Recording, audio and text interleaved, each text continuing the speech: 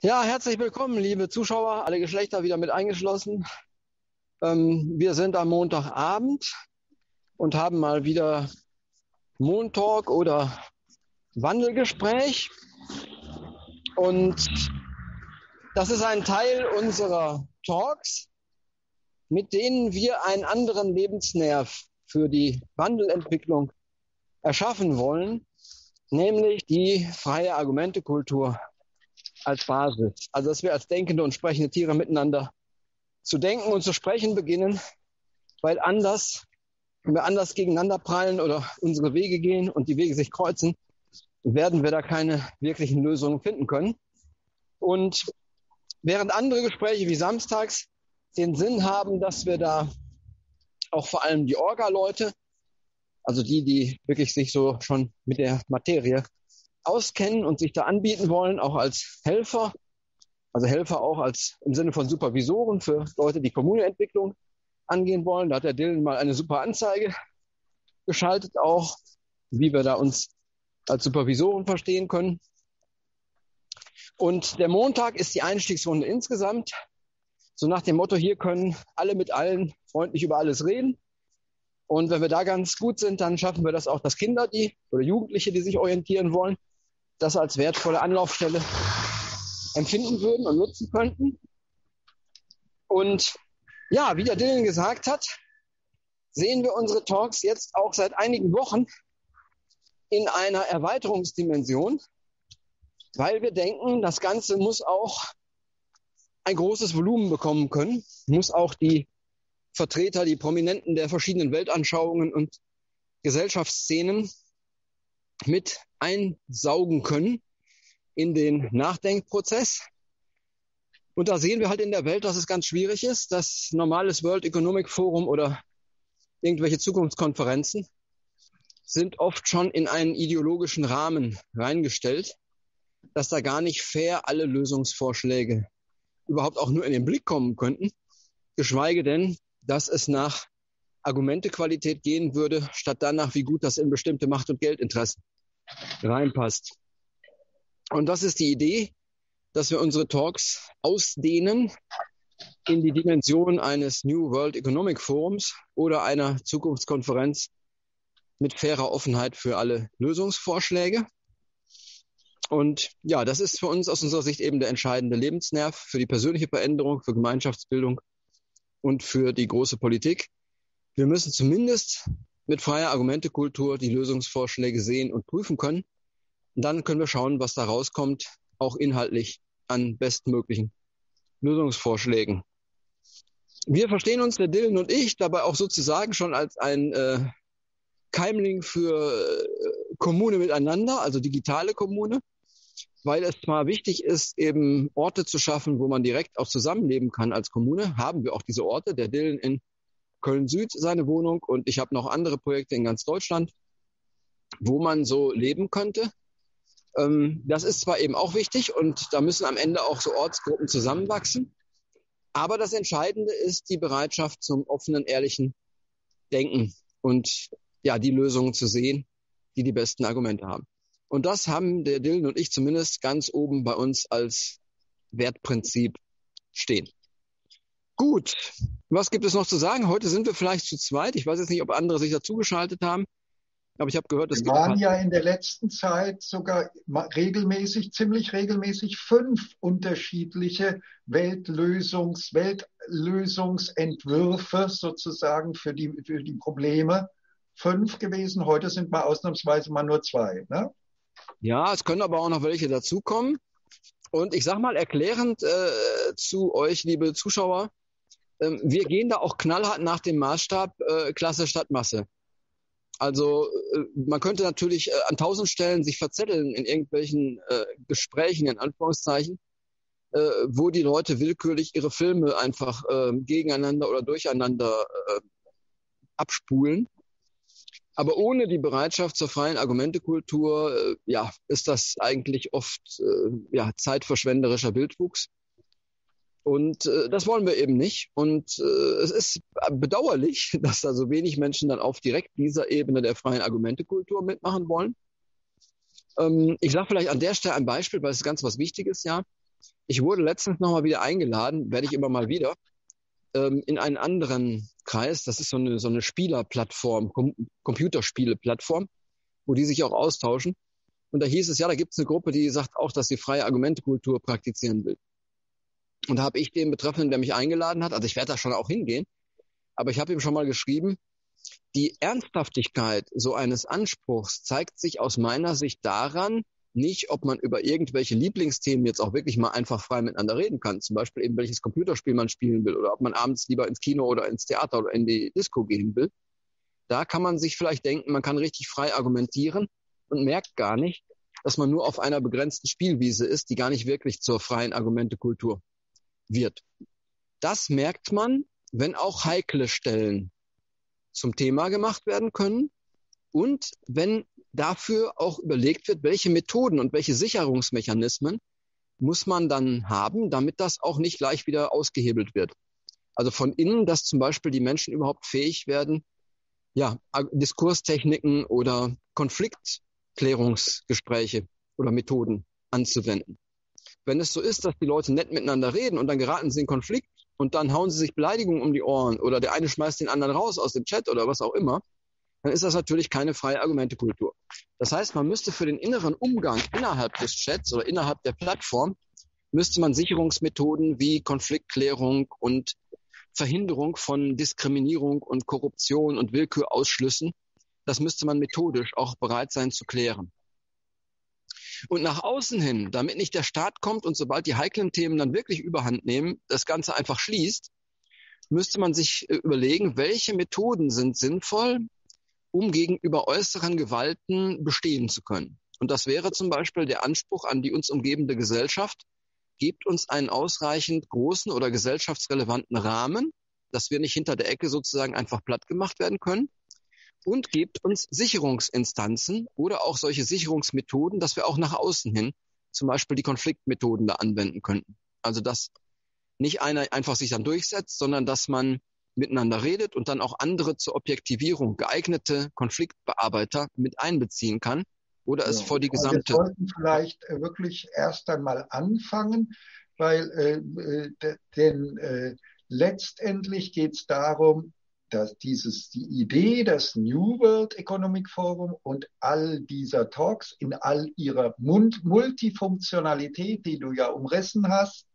ist, dass wir hier im Gegensatz zur gesamten Restwelt freie Argumentekultur praktizieren. Wenn Sie also, lieber Fernsehzuschauer, zum Beispiel einen Lösungsansatz für die Welt oder für, für besseres Leben haben, könnten Sie hier unzensiert teilnehmen. Sie würden also äh, quasi, wenn Sie sich jetzt äh, für den nächsten Samstag melden zum Beispiel, können Sie nach einem ganz kurzen Vorgespräch, dass man mal so versteht, was Ihr Lösungsansatz ist. Aber es ist völlig egal, wie der Lösungsansatz ist. Hauptsache, Sie können ihn mit ein, zwei Sätzen überhaupt oder mit ein paar Sätzen überhaupt formulieren. Ja, und nur das wird geprüft. Äh, und wenn es, äh, egal welcher Lösungsansatz ist, sie werden unzensiert und ohne Cancel Culture grundsätzlich zugelassen. Das ist das, der einzige Ort auf der Welt, wo das so ist. Überall sonst wird zensiert, ausgewählt und gesagt, das wollen wir nicht hören, das, das wollen wir nicht hören, das wollen wir nicht hören, da, nur das wollen wir zulassen, dafür kriegen wir Geld oder das ist reich und ist über viel Geld nach oben geploppt und das bringen wir, weil das bringt Zuschauerquote und so weiter. Das interessiert hier alles nicht, den Diplom-Theologen Jürgen Wagner, sondern ihn interessiert nur, Sie haben einen Lösungsansatz, dann sind Sie dabei. Das, ja, Einzige, genau. was wird, das Einzige, was gemacht wird, dass sie die Leute in eine Gruppe vielleicht zusammengefasst werden, zum Beispiel alle etwas, zum Beispiel alle Enteignungskonzepte werden zusammengefasst oder alle Geldabschaffungskonzepte werden in eine Gruppe gebildet, so dass es nicht in ein Chaos der Millionen Stimmen äh, übergeht, sondern es werden Gruppen gebildet aus den wesentlichen Ansätzen, zum Beispiel derer, die zum Beispiel Reiche sehr hoch besteuern wollen, zum Beispiel, das könnte eine Gruppe sein und so weiter. Und so hat man dann, und, und auch ich gehöre ja zur Gruppe der gemeinwohlökonomischen Wirtschaftsvarianten. Ne? Und, und so, äh, äh und dieses Unzensierte, und das ohne Cancel Culture ist der Wesenskern des Ganzen hier. Deswegen habe ich die ganze Zeit schon das Bild eingeblendet, freie Argumente Kultur ja. was nämlich genau. die schriftliche Variante davon ist. Ja, ja das heißt, jetzt zeige ich mal das Bild, das World Economic Forum. Da ist es nämlich so, dass da habe ich selbst angerufen, dort herrscht knallharte Zensur und Cancel Culture, da wird man also so abgekanzelt als Bittsteller, unsere 23 Professoren und unsere Bundesministerin mit einem neuen Wirtschaftsansatz. Ja, die sollen gefälligst mal als Bittsteller da brav mal eine Mail schicken und so weiter. Was sie garantiert nicht täten, wenn Biden gerade angerufen hätte. Ne? Da würden sie den sofort durchstellen. Ja? Und diese Cancel Culture, ja, das ist das, was, sie, was wir überall sehen. Und hier ist der einzige Ort, wo die Chance besteht, dass auch die Lösungsansätze, die sich nicht als Geschäftsmodelle durch viel Geld im Hintergrund hocharbeiten in die Bekanntheit, sondern die gut besten, nach Argumentequalität gehenden, besten Ansätze sich eine Chance haben, am Ende durchzusetzen. Und das unterscheidet das New World Economic Forum von allem anderen auf der Welt. Kann man so sagen, Öffef? Na, hört sich jedenfalls gut an und wir machen es jedenfalls so. Ne? Und wenn andere Stellen noch da sind, wo man es auch so macht, dann können wir uns ja mit denen, wenn wir uns mal irgendwann erkennen, können wir uns ja zusammentun. Das wird dann ja kein Problem sein. Es gibt keine anderen. Ich, ich habe so lange gesucht und ich habe nichts gefunden, außer hier, freie Argumentekultur auf, auf Jürgen Wagner. Der Einzige, der es ernst meint. Ne?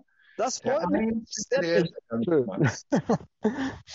so, und dann lege ich jetzt mal los, ja? Ah, ja, genau. Jetzt haben wir ja den Einstieg dann hinreichend erklärt. Dann genau, jetzt haben wir wirklich ausführlich die Theorie. Das müssen wir lernen, kürzer zu machen, denn sonst sind alle Zuschauer weg irgendwann. Wir müssen schneller, schneller, in die verschiedenen Weltansätze reinkommen. Ne? Auch wenn Sarah Wagenknecht jetzt da wäre, dass wir dann schneller da reinkommen. Und das, ich das kriegen wir dann hin, bestimmt, ja. Und ich versuche jetzt mal, ich versuche jetzt mal den Fernsehzuschauern nicht so groß wie möglich zu zeigen, weil die äh, die äh, haben nur die Chance, dass ich hier das vergrößere. Und größer geht's halt nicht. Größer bin ich nicht zu sehen. Ich wollte ja am Anfang heute mal live zu sehen sein. Die Fernsehzuschauer sehen mich jetzt. Hallo, ich winke. Äh, was ist denn jetzt los? Mhm.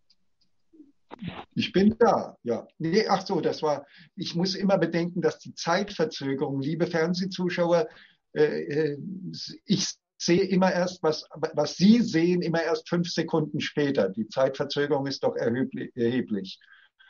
Ja, aber gut, fünf Sekunden sind ja verkraftbar. Ne? Ja, dann lege ich jetzt mal los, indem ich äh, mal einfach äh, meine Redezeit beginne und erstmal gucke, was ich mir für heute vorgenommen habe. Erstmal muss ich meine Themen sagen. Also, ich fange an. Ich empfinde mich ja hier grundsätzlich schon in dem Schwerpunkt des New World Economic Forum. Trotz aller Multifunktionalität ist das ja mein Schwerpunkt. New World Economic Forum. Und die Themen heute, die ich bringe, sind ja wie immer Gemeinwohlökonomie nach Christian Felber, GWÖ, plus gemeinwohlorientierte Wirtschaftsordnung, GWO, der Next Scientists for Future vom Weltrat. Sie sehen es, da ist auch ein blinder Computeranschluss vom Weltrat heute mitzusehen und angezeigt. Das ist nur der technische Computer, ne, der da noch mit drin hängt. Und dann geht es mir natürlich auch darum, dass wir sagen, wenn wir es jetzt nicht schaffen, den Termin nicht kriegen von der Bundesregierung, wir haben erst die erste E-Mail bekommen, noch nicht die Termin-E-Mail äh, von der Bundesregierung, von Teilen der Bundesregierung. Wenn wir die wenn wir diesen, diese Termine mit der Beratung, wenn wir nicht zu den Beratern der Bundesregierung werden als Weltrat und Next Scientists for Future, dann haben wir nur die Partei des Gemeinwohls und die zeige ich jetzt mal an. Äh, Moment, dazu muss ich hier wieder kleiner machen. Die Technik ist sehr aufwendig. Ich werde, hoffe, ich werde immer besser und immer schneller damit werden. Äh, da war es doch schon, was ich suchte. Die Kompetente. Hier haben wir die Partei des Gemeinwohls. Das könnten Sie Fernsehzuschauer dann auch sehen. Wenn ich ein bisschen runterscrolle, hier ist die Internetadresse, dann brauchen Sie nicht danach zu googeln. Ja, hier, da ist die Internetadresse, da brauchen Sie nicht danach zu googeln. Und äh,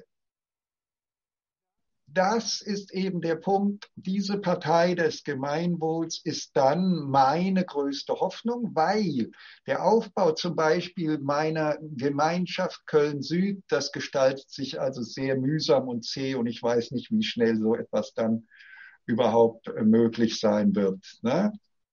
Wobei ich jetzt hier auch wieder nachhelfen kann, indem ich das groß stelle. Und ja, und dann lese ich mal an, was ich mir für heute vorgenommen habe. Äh,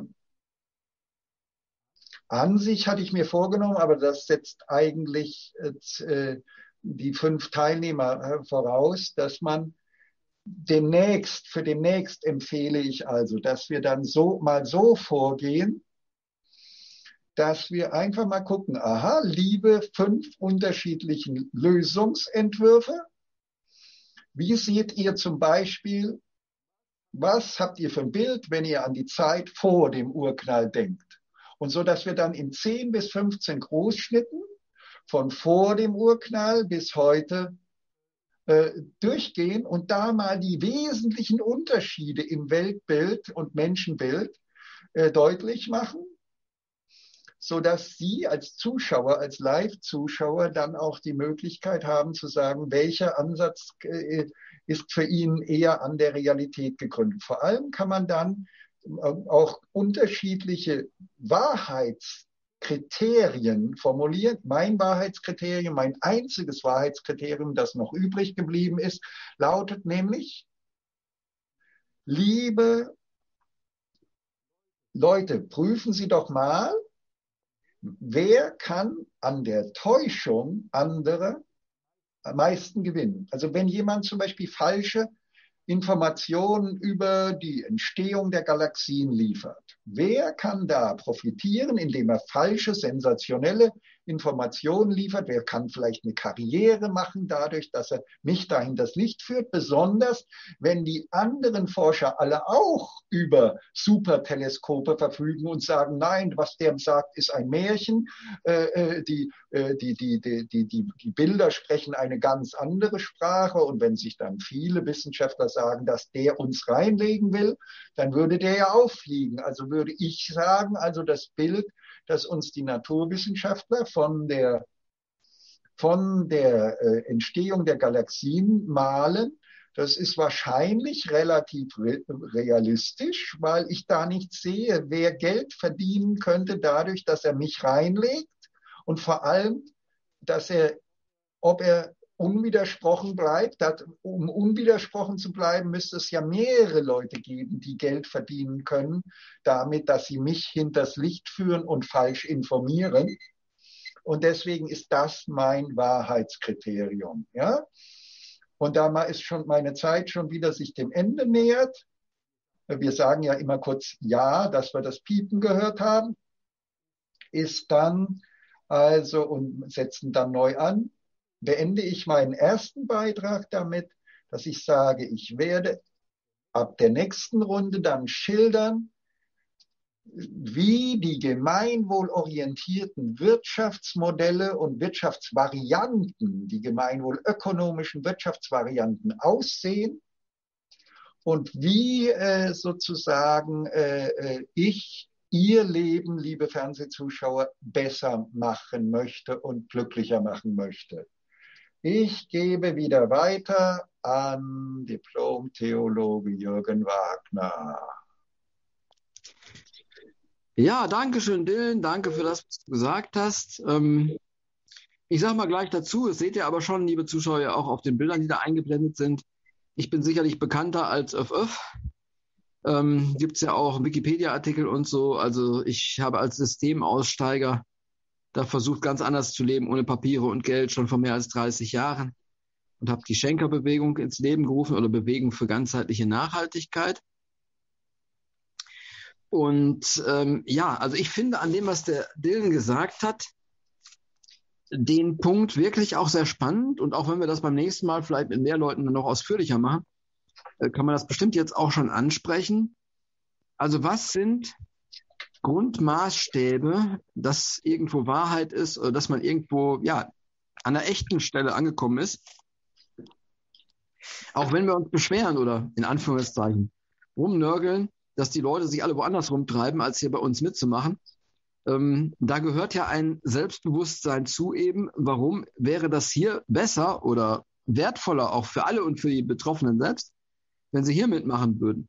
Weil die könnten ja sagen, Mensch, seid mal nicht so überheblich. Es gibt ja auch noch andere Gesprächsmöglichkeiten und Veranstaltungen, wo man da teilnehmen kann, nicht nur eure Talks. Und da haben sie auch recht, dass es das gibt. Ich habe ja in meinem Einstiegsbeitrag der Einführung hier zum heutigen Abend, habe ich schon gesagt, ich finde es total faszinierend, äh, dass es sogar ab und zu solche Versuche gibt, so meinungsfreie Austauschplattformen anzubieten. Sowas wie eine freie Argumentekultur. Ähm, aber ich habe schon gesagt, ob man dann da richtig ist oder ob man seine Zeit vergeudet und ob was anderes besser ist, substanzieller ist, da kann man sich ja überlegen, was sind Maßstäbe, an denen man das festmachen kann. Und wenn man in einem Chat ist, wo die Leute sich gar keine Gedanken darüber machen, was dann freie Argumentekultur bedeutet und wie man sie methodisch gestalten und absichern kann, ähm, da kann man schon ja ängstlich werden. Und in den meisten Fällen wird man feststellen, dass die, die da sagen, sie sind für freie Argumentekultur, schon untereinander, sobald da einem das, was der andere sagt, nicht gefällt, anfangen ausgrenzen zu wollen oder im Konfliktfall mit nicht argumentativen Methoden gegeneinander kannten. Also schon dieses, wir praktizieren den offenen Diskurs mit dem anderen und bei Schwierigkeiten und Streit gehen wir in geordnete Konfliktklärung, also so wie es seit etlichen Jahrhunderten und Jahrtausenden da gute Methoden für gibt, die auch die moderne Friedens- und Konfliktforschung bestätigt. Also, dass wenn zwei sich nicht einigen können, dass sie dann ihren Kreis weiten um Konflikthelfer, Mediatoren oder ich sage jetzt mal in einem idealistischen Stamm immer mehr objektivierende, mitschauende und mitredende, bis man das dann vielleicht vor die Entscheidungsgruppe bringt, die gesamte Entscheidungsgruppe. Also schon an diesen Stellen scheiden aus meiner Sicht die meisten Plattformen, die da sagen, sie sind für freie Argumentekultur, schon wieder aus, weil die Leute untereinander und vor allem die, die es gegründet haben oder der Gründer, manchmal ist es auch nur einer, sich dann doch willkürlich durchsetzt oder in Streitigkeiten ganz anders sich verhält, als es der freien Argumentekultur entsprechen würde. Und ich habe es eben in vielen Jahren jetzt so erlebt, dass wenn man sich auch nicht nach außen Gedanken macht, dass es wirklich so ist, dass ganz tolle. Nur ein Beispiel, Öffe. Alle Foren, alle schriftlichen Foren, die ich früher kennengelernt habe, waren immer zensiert von einem terroristischen Moderator, der immer Willkür betrieben hat. Ja, genau. So, so trifft man das meist an, auch wenn erstmal so ein leuchtend schöner Vorhang davor hängt. Aber man sollte ja dahinter gucken. Ne? Und ich habe ja jahrelang jetzt hier auch nach außen, auch sogar in Arbeitskreisen, auch mit Vertretern von Stadt- und Landkreis und so weiter, da wo ich mich engagiert habe, habe ich versucht, eben was für Nachhaltigkeitsentwicklung zu tun. Und ähm, also es ist faszinierend, dass es dann passieren kann, dass man erst im Kreis ganz nett miteinander redet und jeder hört auch zu und man denkt sich, hier kann die Meinung frei sein. Und dann berührt man Themen, die die herrschenden Strukturen zu sehr ankratzen. Also in einem Falle war das wirklich so, dass da in einem Kreis, der aus dem betreffenden Landkreis eine Nachhaltigkeitsmodellregion machen wollte, äh, und es ging um die Organisationsform, die man sich geben würde, da haben die Leute dann gleich die üblichen Ideen gehabt, wie gemeinnütziger Verein und Genossenschaft und so, auch weil die gut Fördermittel kriegen vom Staat. Und ich habe gesagt, Leute, wir müssen uns da jetzt mehr Gedanken machen, wie wir die freie Argumentekultur auch ja, methodisch gestalten und absichern können. Denn bei einem gemeinnützigen Verein zum Beispiel setzt man das Finanzamt als die höchste Autorität ein, die jetzt beurteilt, ist das gemeinnützig oder nicht und den ganzen Verein quasi aushebeln könnte. Und wer von uns wird das Finanzamt als die höchste Instanz für Nachhaltigkeit betrachten? Also da habe ich den Vorschlag gemacht, wir machen es so, dass wir zumindest erstmal mit beratender Funktion neben die ganzen vorhandenen Instanzen eine Nachhaltigkeitsagentur. Ja, ich habe das Piepen gehört, genau. Also ich habe den Vorschlag gemacht, wir machen da freie Argumentekultur und setzen als höchste Instanz, wo sich auch das Finanzamt mit durchprüfen lassen müsste, setzen wir eine Nachhaltigkeits- und Friedensagentur ein. Und zack, bumm, kaum war dieser Vorschlag dann so da und die Teilnehmer des Kreises haben da wirklich aufmerksam zugehört und haben gesagt, oh, ja, hört sich eine gute Idee an. Das wollen wir gerne weiterverfolgen.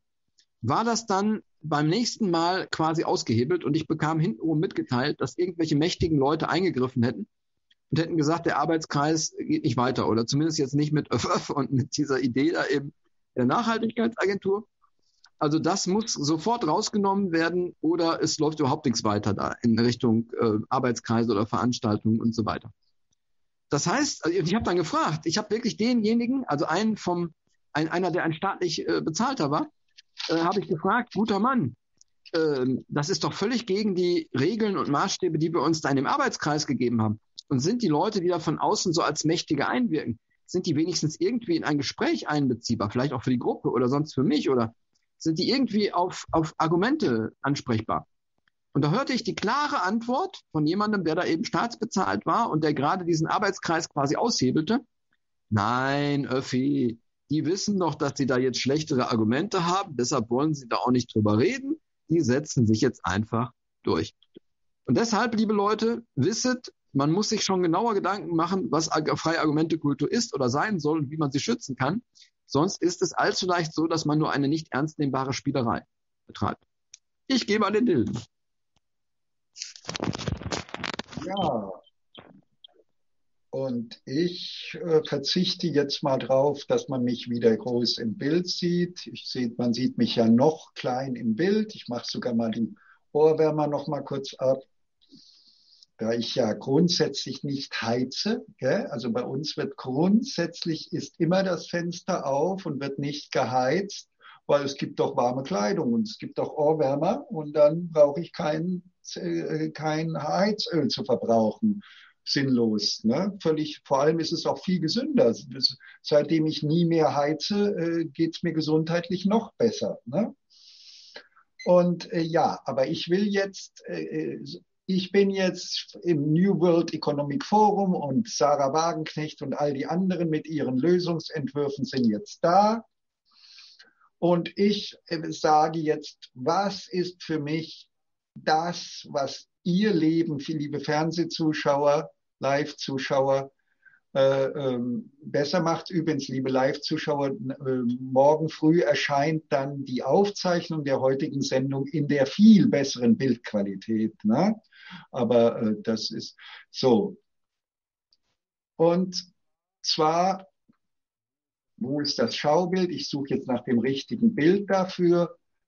Für mich ist das entscheidende Bild jetzt hier, ist das hier wieder mal das Bild der Menschengruppen, weil das ist, das kann man jetzt verstehen als Gemeinschaften. Hier zum Beispiel die Gemeinschaft Köln-Süd, dann die anderen zehn Gemeinschaften, die der Diplom-Theologe Jürgen Wagner öff, äh, anzubieten hätte als Locations, die eben mit wirklichen Leuten ge gefüllt werden muss.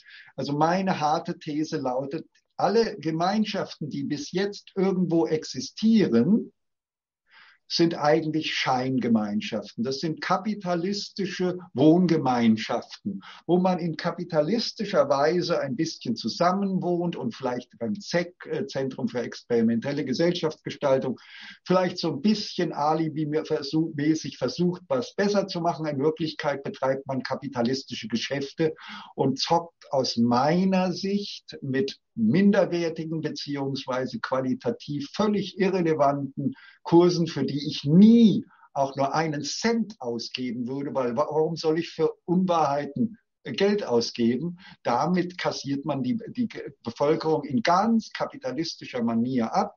Und das sind keine Gemeinschaften. Das ist nichts aus meiner Sicht. Ja? Das heißt also, wir haben hier die Chance, die Gemein Gemeinschaft Köln-Süd und die zehn Locations des äh, Diplom-Theologen Jürgen Wagner und die kleinen Kommunen, äh, Gemeinschaftskeimlinge, die es da überall gibt, mit guten vernünftigen Leuten zu füllen, die wirklich wachsen wollen, die aus dem Kapitalismus im Kopf und dem Kapitalismus außen herauswachsen wollen und schon eine neue Realität leben wollen und nicht nur so tun wollen, als ob, ich sage immer so, an so einer Anti-Ukraine-Kriegsdemo so als Partykonsum teilnehmen wollen. Ja, so ein bisschen Party tanzen auf der Demo gegen den Ukraine-Krieg, das macht doch Spaß und ist doch schick und so weiter. Und da laufe ich mit die Leute merken nicht, dass sie damit auch nur wieder Mitläufer im Kapitalismus sind, denn diese Demos haben aus meiner Sicht nicht mehr Wirkung als, als ein Spiel, eine Party im Rahmen des Kapitalismus, die er erlaubt, die aber nie etwas an seiner Struktur ändern werden. Das Struktur müssen wir ändern durch die gemeinwohlökonomische Weltwende. Und die geht so, dass, wenn wir jetzt mal die Ebene der selbst jetzt eröffneten Gemeinschaften, zu denen wir natürlich herzlich einladen, mal vergessen, dann führt die, wird die gemeinwohlökonomische Wende von selbst wieder zu den Gemeinschaften zurückführen. Automatisch, denn wenn der Mensch ein Gemeinschaftstier ist, und da bin ich aus der naturwissenschaftlichen Sicht ganz sicher, dann wird auch eine gesunde Gesellschaft wieder zu den Gemeinschaftslebensweisen wieder zurück finden. Und wie macht das die gemeinwohlökonomische äh, Wirtschaftsvariantenwende der Menschheit? Indem wir, Christian Felber hat gesagt, den Unternehmen, die uns Gutes tun, die bisherigen finanziellen Nachteile ausgleichen und ihnen eher Steuervorteile geben und andere am Ende letztendlich finanziell sich auswirkende Vorteile geben, damit sie gegenüber anderen gewinnen können. Wir bei der GWO, Gemeinwohlorientierten Wirtschaftsordnung von Weltrat und Next Scientists for Future, gehen noch viel weiter als Christian Felber. Also uns ist dieser Ansatz zu jugendlich mangelhaft sozusagen. Wir bieten also, wir wollen noch viel weiter gehen als Christian Felber. Äh, wir sagen, dass zum Beispiel der Hausarzt nur noch dann gutes Geld bekommt, wenn er besser als andere Ärzte es schafft, den Menschen zu helfen, dass sie immer seltener krank werden, möglichst nie krank werden, möglichst nie Krebs bekommen. Und dafür wird er von selbst ein, äh, die Hausarzt-Gesundheitsgemeinschaften gründen, in denen das ganze Freizeitleben der Menschen in einer ungeahnten gesundheitsförderlichen Qualität stattfinden wird. Einsamkeit wird kein Thema mehr sein, Depression wird kein Thema mehr sein, weil alles eine lebenslustige Party ist, äh, in den Freizeit- und Wochenendkursangeboten der Hausarzt-Gesundheitsgemeinschaften. Und der Hausarzt wird natürlich auch immer wieder ansprechen, Leute, wer möchte in eine Gemeinschaft ziehen, weil dann werdet ihr noch gesünder leben können, wenn es gut supervidiert ist. Und dann werdet ihr noch seltener krank werden und dann verdiene ich noch mehr. Hm? Und das ist die wunderbare Zukunftswelt, auf die ich warte, äh, der gemeinwohl äh, Wende der Menschheit. Ja? Und ich gebe wieder weiter an den Öff. Öff.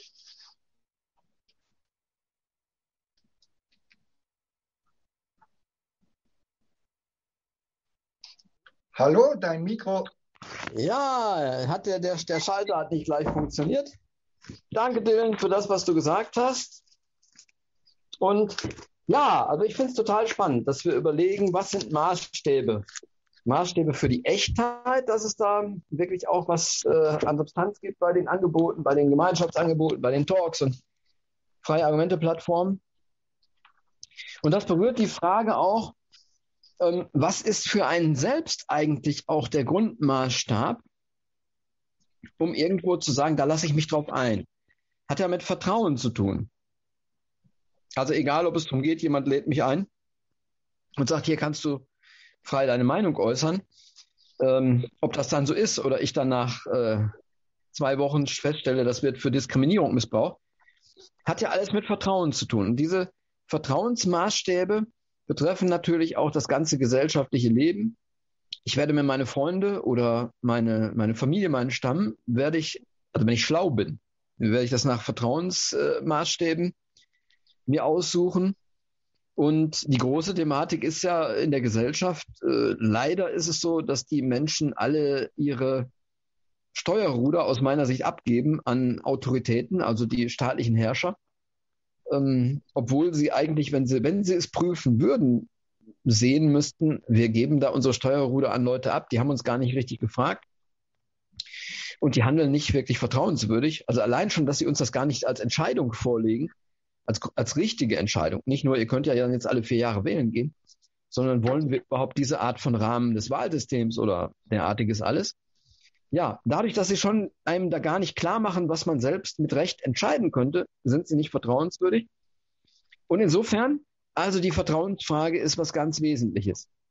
Und ähm, ich sage mal so, ich glaube, dass nach außen hin gegenüber anderen Menschen es drei Maßstäbe gibt, wo, die ich für sehr einfach halte. Vielleicht sind sie euch ja auch bekannt schon, liebe Zuschauer. Aber in der Klarheit, dass sie gesehen und angewendet werden, ist es aus meiner Sicht absolut erschreckend, äh, wie wenig das geschieht. Man kann sich ja dann selbst auch mal prüfen. Ich nenne die dreimal.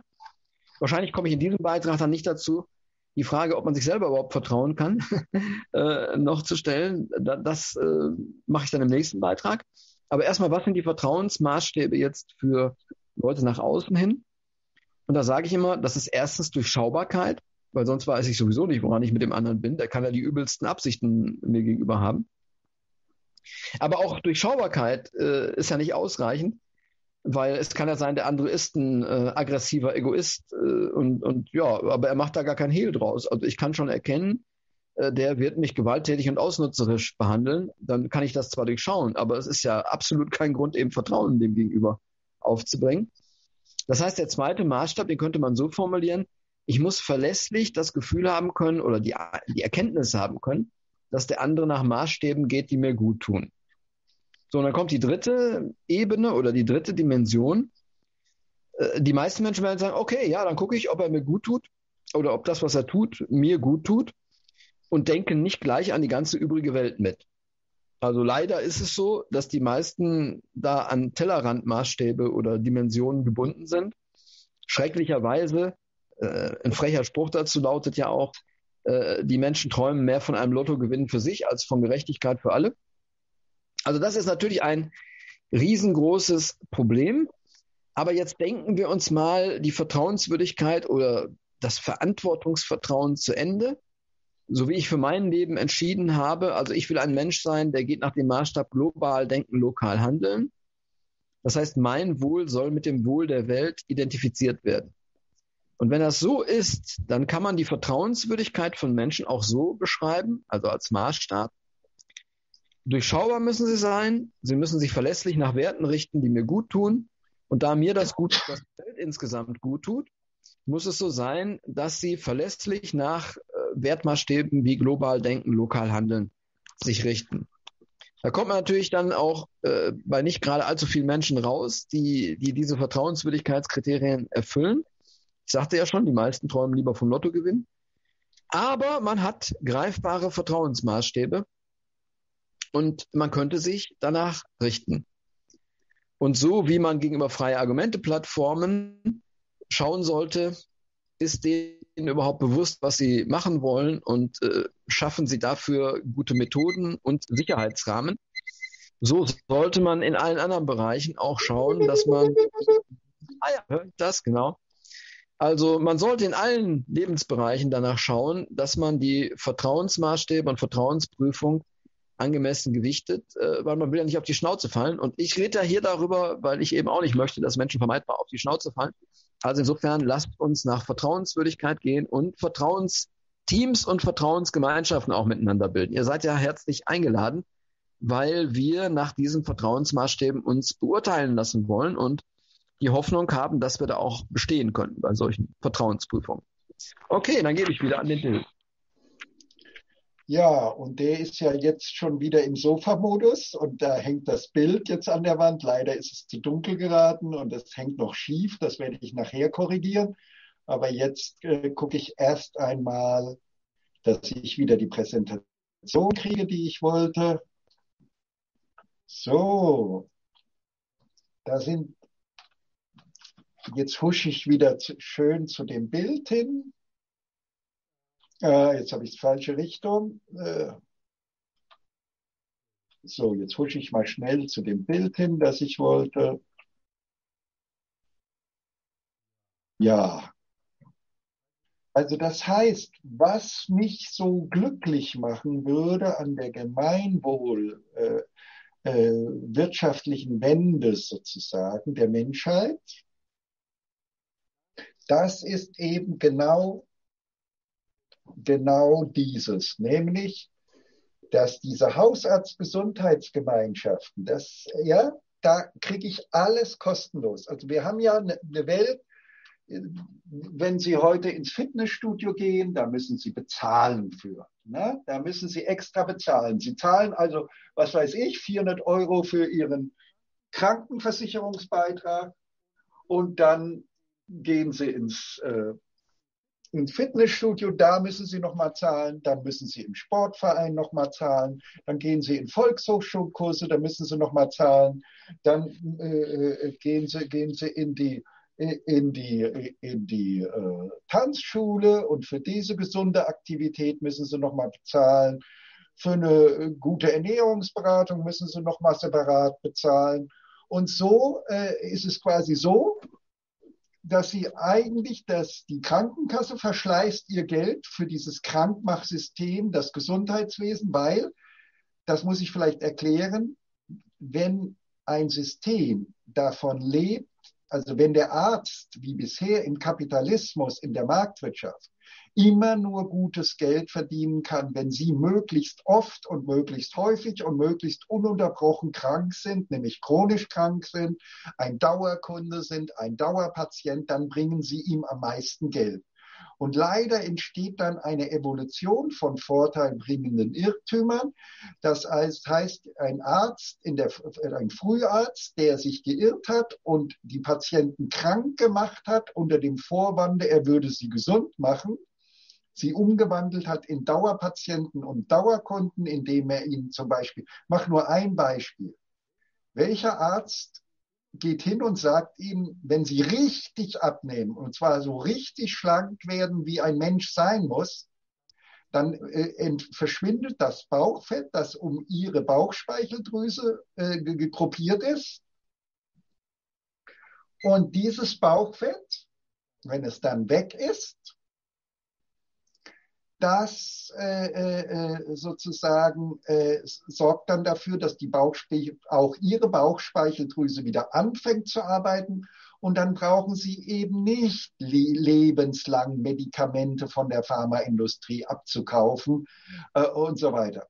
Und sie, sie, wenn sie sich selbst prüfen, dann werden sie feststellen, äh, das macht kein Arzt. Kein Arzt äh, sagt ihnen, dass wenn sie richtig abnehmen, und zwar richtig, nicht nur so ein bisschen, dass dann, wenn das Bauchfett rund um die Bauchspeicheldrüse ist, dass dann auch ihr Diabetes weggehen kann. Das sagt er ihnen nicht, weil er das nicht gelernt hat, weil er nämlich nur vorteilbringende Irrtümer gelernt hat, die Geld bringen. Und Geld bringt es eben, wenn sie ein lebenslang kranker Mensch bleiben. Und deswegen werden sie nur als Dauerpatient im Krankenzustand festgehalten und das ohne jegliche böse Absicht.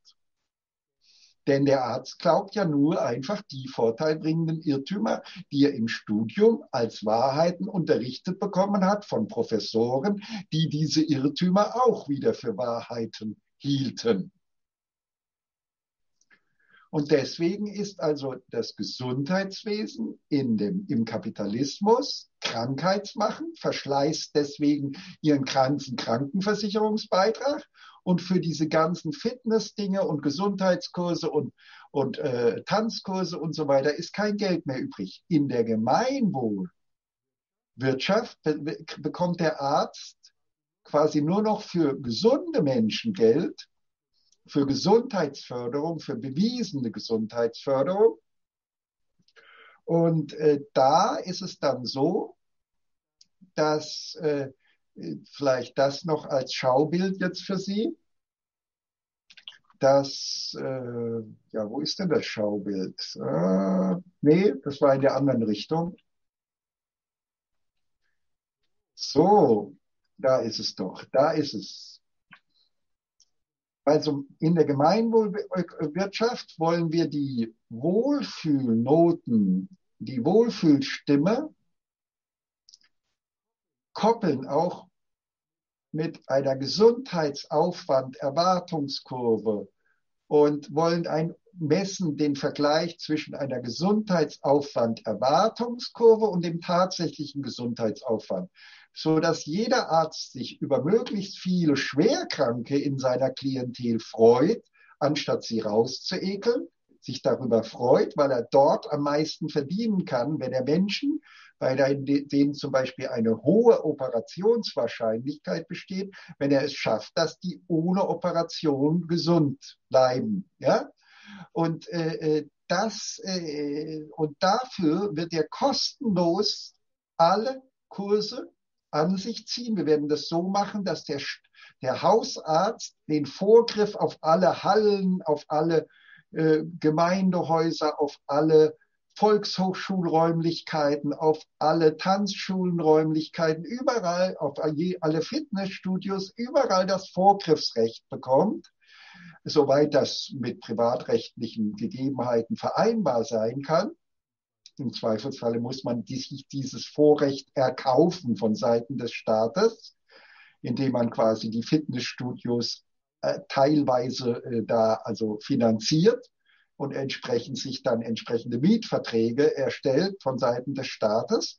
Und dann können die Hausärzte wirklich aus dem Vollen schöpfen und eine Gesamtpalette all dessen, was mich glücklicher und gesünder leben äh, lässt, bis hin zum Singen, Tanzen, Musizieren und so weiter, so dass wir dann in den Hausarztgesundheitsgemeinschaften schon die Vorbilder für ideale Gemeinschaften dann haben und äh, dort äh, quasi ein Paradies auf Erden entsteht. Und das kann nur entstehen, entweder indem Sie jetzt bei uns bei den Gemeinschaften mitmachen und das alles bei uns lernen, kostenlos natürlich alles, oder indem sie die gemeinwohlwirtschaftliche Weltwende unterstützen, dann kommt es automatisch über die Hausarztgesundheitsgemeinschaften. Ich gebe weiter.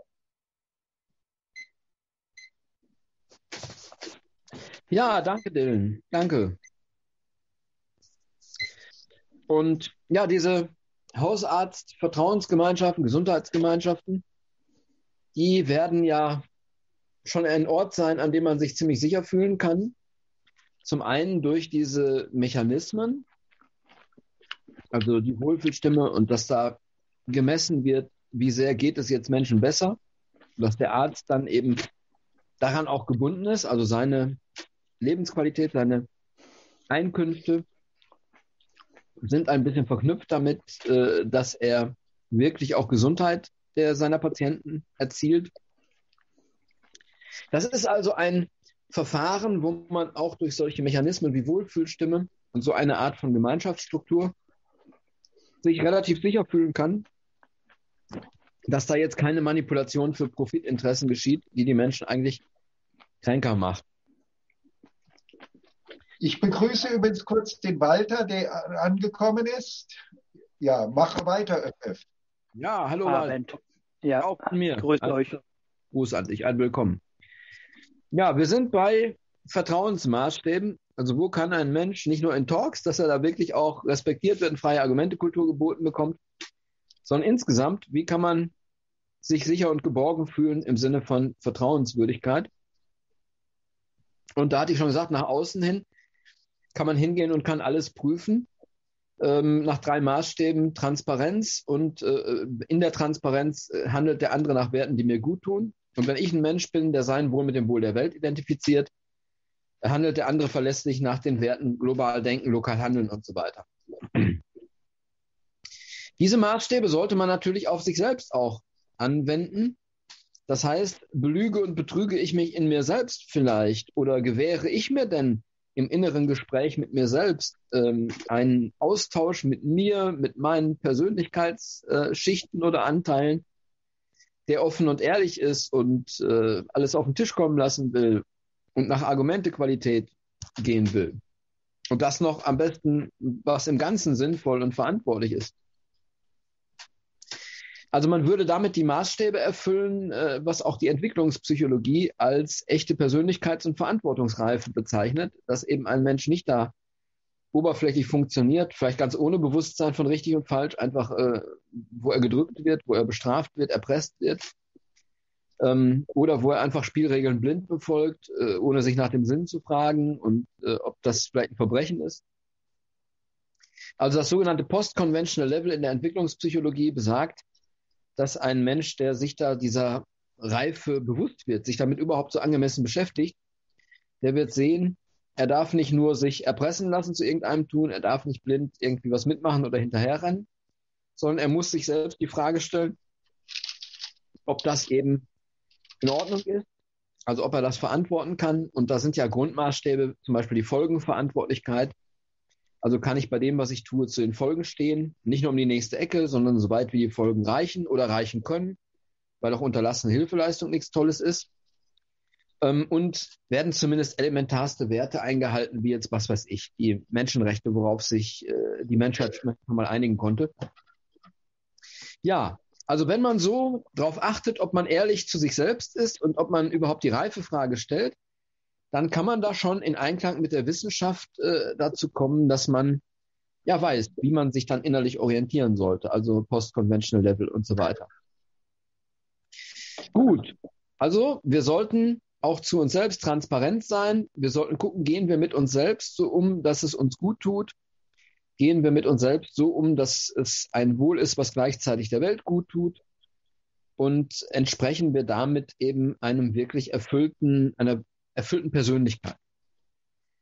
Man könnte noch ein bisschen tiefer gehen und äh, sich fragen, ja, okay, ähm, mit dem Wohl des Ganzen, also sein Wohl mit dem Wohl des Ganzen identifizieren, äh, warum eigentlich? Ähm, kann ich nicht vielleicht glücklicher werden, wenn ich doch äh, hauptsächlich an mich denke, wenn ich vielleicht ein Egoist bin oder an meinen Tellerrand denke, nur meine Familie auf Kosten der Welt oder meine Lobbygruppe oder was auch immer?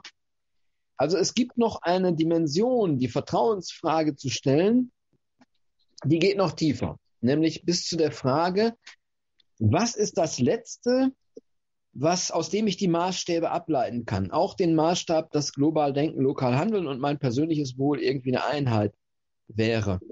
Wie lässt sich das tragfähig begründen? Ja, und da höre ich piepen, also sei es als Vorgeschmack oder als äh, Anregung äh, für meinen nächsten Beitrag, da werde ich das dann ein bisschen genauer beschreiben, wie man so tief in die Tiefe gehen kann, wie ich das bisher für mich herausfinden konnte in meinem Leben. Alles klar, dann gebe ich erstmal weiter. Ja, dann würde ich sagen, der Walter ist jetzt dran. Vielleicht Walter für dich ganz kurz als Information. Wir haben äh, zwei äh, oder drei Live-Zuschauer, äh, Live-Fernsehzuschauer wenn du dich denen zeigen willst, kann ich dein Bild entsprechend groß machen dann. Aber wenn nicht, einfach so. Äh, ah ja, jetzt, äh, ich, ich, ich, warte, ich mache dich mal groß. Äh, ich muss das allerdings alles erst lernen. Das ist unheimlich kompliziert. Ich habe hier technisch einen Aufwand ohne Ende. Jetzt müsste ich noch die Sprecheransicht hinbekommen. Sprecheransicht und dann muss ich dich noch nehmen. Wieso? Ist der Walter jetzt nicht groß. Walter, ach so, Walter, sag du mal was. Da müsstest du als. Hallo, ja. Ja, jetzt klappt es. Es kommt oft, und indem man dann, tätig wird. Es kommt immer darauf an, gerade am lautesten. Walter, noch ganz kurz für dich die Bemerkung, äh, dass äh, äh, wir, dass, dass es darum geht, eben den Fernsehzuschauern vielleicht auch zu sagen, was dein Wandelansatz für die Menschheit ist. Was du den Zuschauern sagst, wie du empfiehlst, dass wir die Menschheit äh, äh, zu einem besseren Leben, zu einer besseren Welt, zu einem besseren Deutschland kommen, das auch immer. Und das versuchst vielleicht so konkret wie möglich in den nächsten fünf Minuten zu schildern. Ja, ja danke schön. Erstmal zur Erklärung für meinen. Du kannst loslegen.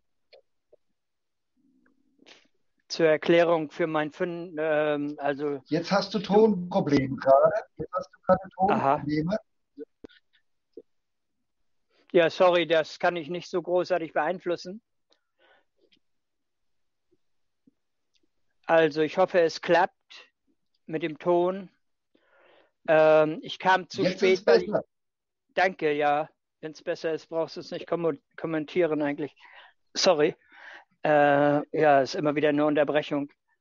Also, ähm, ich war bis jetzt eben in einer anderen Zoom-Konferenz, wo es um die Software ging. Das heißt, da waren sieben Programmierer. Ich bin ja nur Ingenieur und kein Programmierer, aber es ging darum, ähm, dass ja auch die grüne oder die humanistische und die Friedensbewegung und die Ökodorfbewegung eine Art Plattform brauchen, eine Softwareplattform, äh, besser als Facebook, besser als Telegram, äh, besser als Zoom und alle diese Tools zusammen und die dennoch irgendwie energetisch ausgeglichen werden soll, ohne, ohne Euro, ohne Dollar, ohne Währung, sondern durch Energie der Teilnehmer.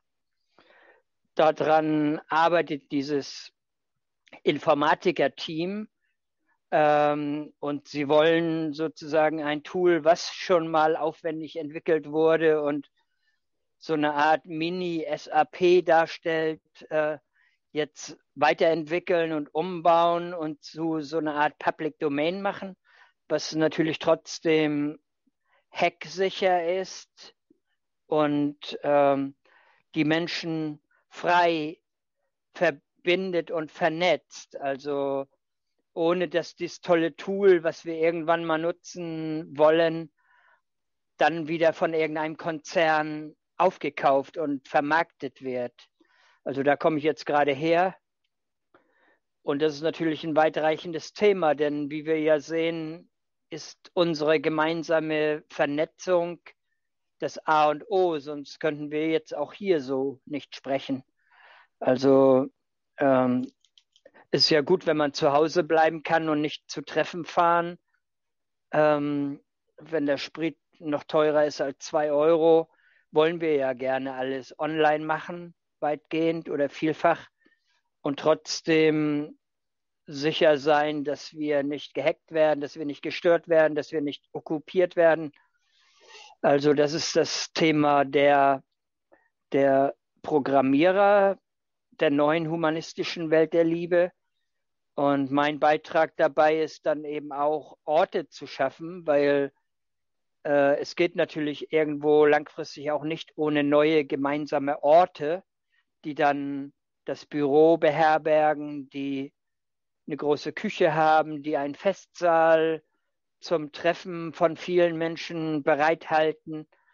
Also die realen Orte sind dann natürlich ein genauso wichtiger Baustein wie die Vernetzungssoftware. Dankeschön.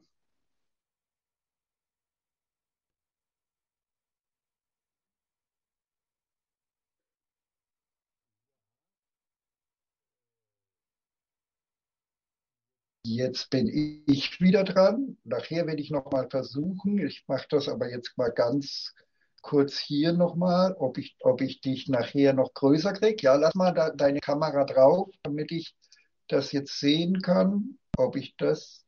Ach nee, jetzt hat sich der Walter wieder ausgeschaltet. Ja, lass dich mal kurz drauf, damit ich sehen kann, ob ich dich noch größer kriege nachher in, in der Aufnahme.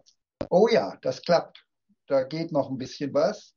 Beim nächsten Mal kann ich dich dann in der, in der Aufnahme sogar noch größer schalten. Aber jetzt gehe ich wieder auf diesen Modus hier zurück. Standard heißt der, der Modus. Ja, so, jetzt bin ich wieder im Standardmodus. Ja, es geht also noch größer. Gut, dass wir das auch wieder gelernt haben. Und äh, ja, mein Beitrag ist ja der, und dazu mache ich ja natürlich wieder Schaubilder an. Äh, Moment, äh, hier da haben wir wieder den Öff-Öff und ich wandere wieder durch die Schaubilder.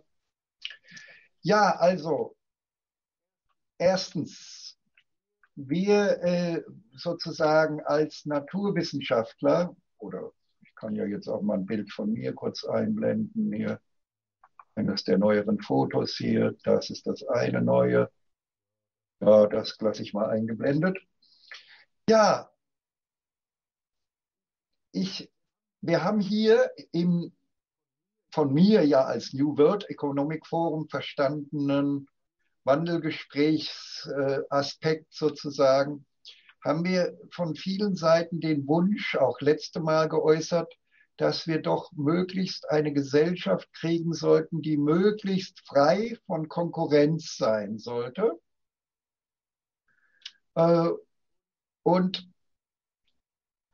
von anderen habe ich gehört, dass es auch möglichst frei sein soll von Geld, von Selbstlosigkeit, und äh, von egoistischen Zügen und dass sie möglichst viel das Post-Conventional Levels erreichen sollte. Und dazu kann ich nur sagen, das Friedlichste, was in der Natur jemals funktioniert hat, ist für mich die, bon die, die Bonobo-kommunistische Gruppenehe oder der Bonobo-Kommunismus.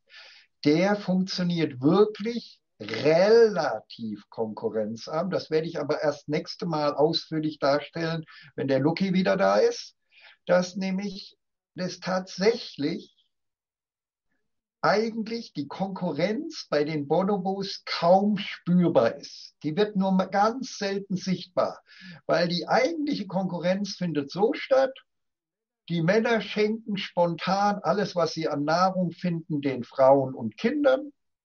Und in den Körpern der Frauen findet ein Mechanismus statt.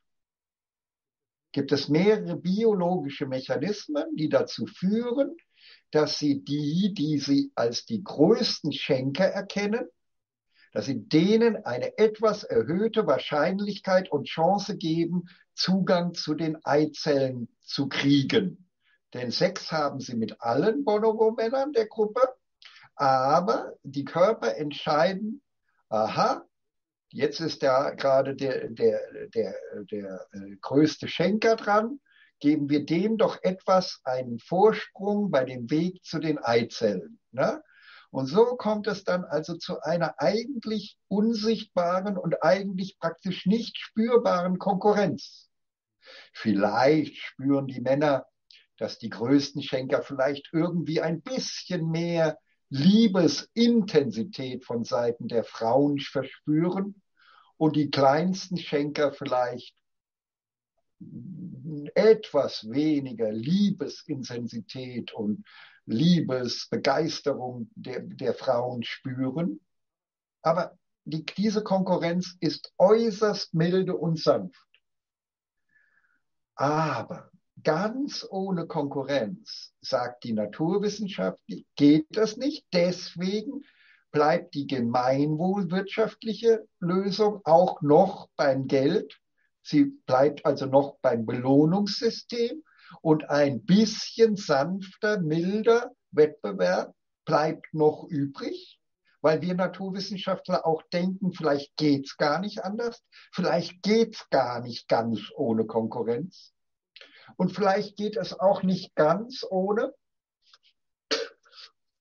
ganz ohne ein bisschen selbst, äh, äh, bisschen gesunden Egoismus können wir vielleicht nicht ganz loswerden. Und wir müssen uns klar sein, das habe ich dem ÖFF noch nie gesagt, aber dass das Post-Conventional Level ist ja eigentlich kein naturwissenschaftlich-psychologisches Konzept, sondern ein moralphilosophisches, ethisch-moralisches Konzept des Moralpsychologen und Moralphilosophen äh, Lorenz Kohlberg, das also von ihm eher eine Wunschvorstellung ist, dass die Menschen doch geeignet sein mögen und eine Tendenz haben mögen, das Post-Conventional Level doch bitteschön, äh, ich schließe noch meinen Beitrag ab, äh, bitteschön äh, äh, wirklich auch anstreben zu wollen. Dafür gibt es aber naturwissenschaftlich keine Hinweise. Es kann sein, dass das Post-Conventional Level vielleicht sogar nur eine Erscheinung in einer moralisch-ethischen Kultur mit moralischen Religionen und so weiter darstellt, aber in der Natur eventuell gar nicht erreichbar ist, dann wäre es auch in einer kapitalismusfreien Kultur und religionsfreien Kultur auch nicht mehr erreichbar. Aber generell sind wir uns alle einig, dass wir das gute Tun der Menschen drastisch vergrößern wollen das ist unser Minimalkonsens. Und ich gebe wieder weiter an den Öfföff und er hat wieder seine fünf Minuten. Ja, danke schön, Dylan, danke schön. Ja, also es ist ja mit der empirischen Grundlage dieser Dinge wie Post-Conventional Level ist ja immer eine spannende Frage. Ähm, die Entwicklungspsychologie arbeitet da ja auch mit Fragebögen und äh, Dilemmafragen und leitet aus den Antworten ab, nach welchen Maßstäben die Menschen gehen. Also ist das schon eine etwas empirischere Wissenschaft, als wenn sie nur am Schreibtisch sitzen und sich da irgendwelche Theorien ausdenken.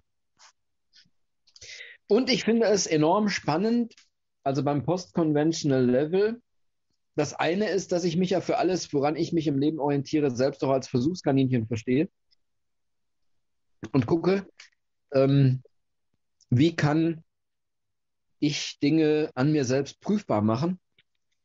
Und das Post-Conventional Level zum Beispiel, da habe ich den Anspruch ähm, schon seit mehr als 30 Jahren, dass ich sage, das will ich doch mal herausfinden oder auf die Probe stellen, auch in meiner persönlichen Lebensweise, ob man nach solchen Maßstäben sich so richten kann.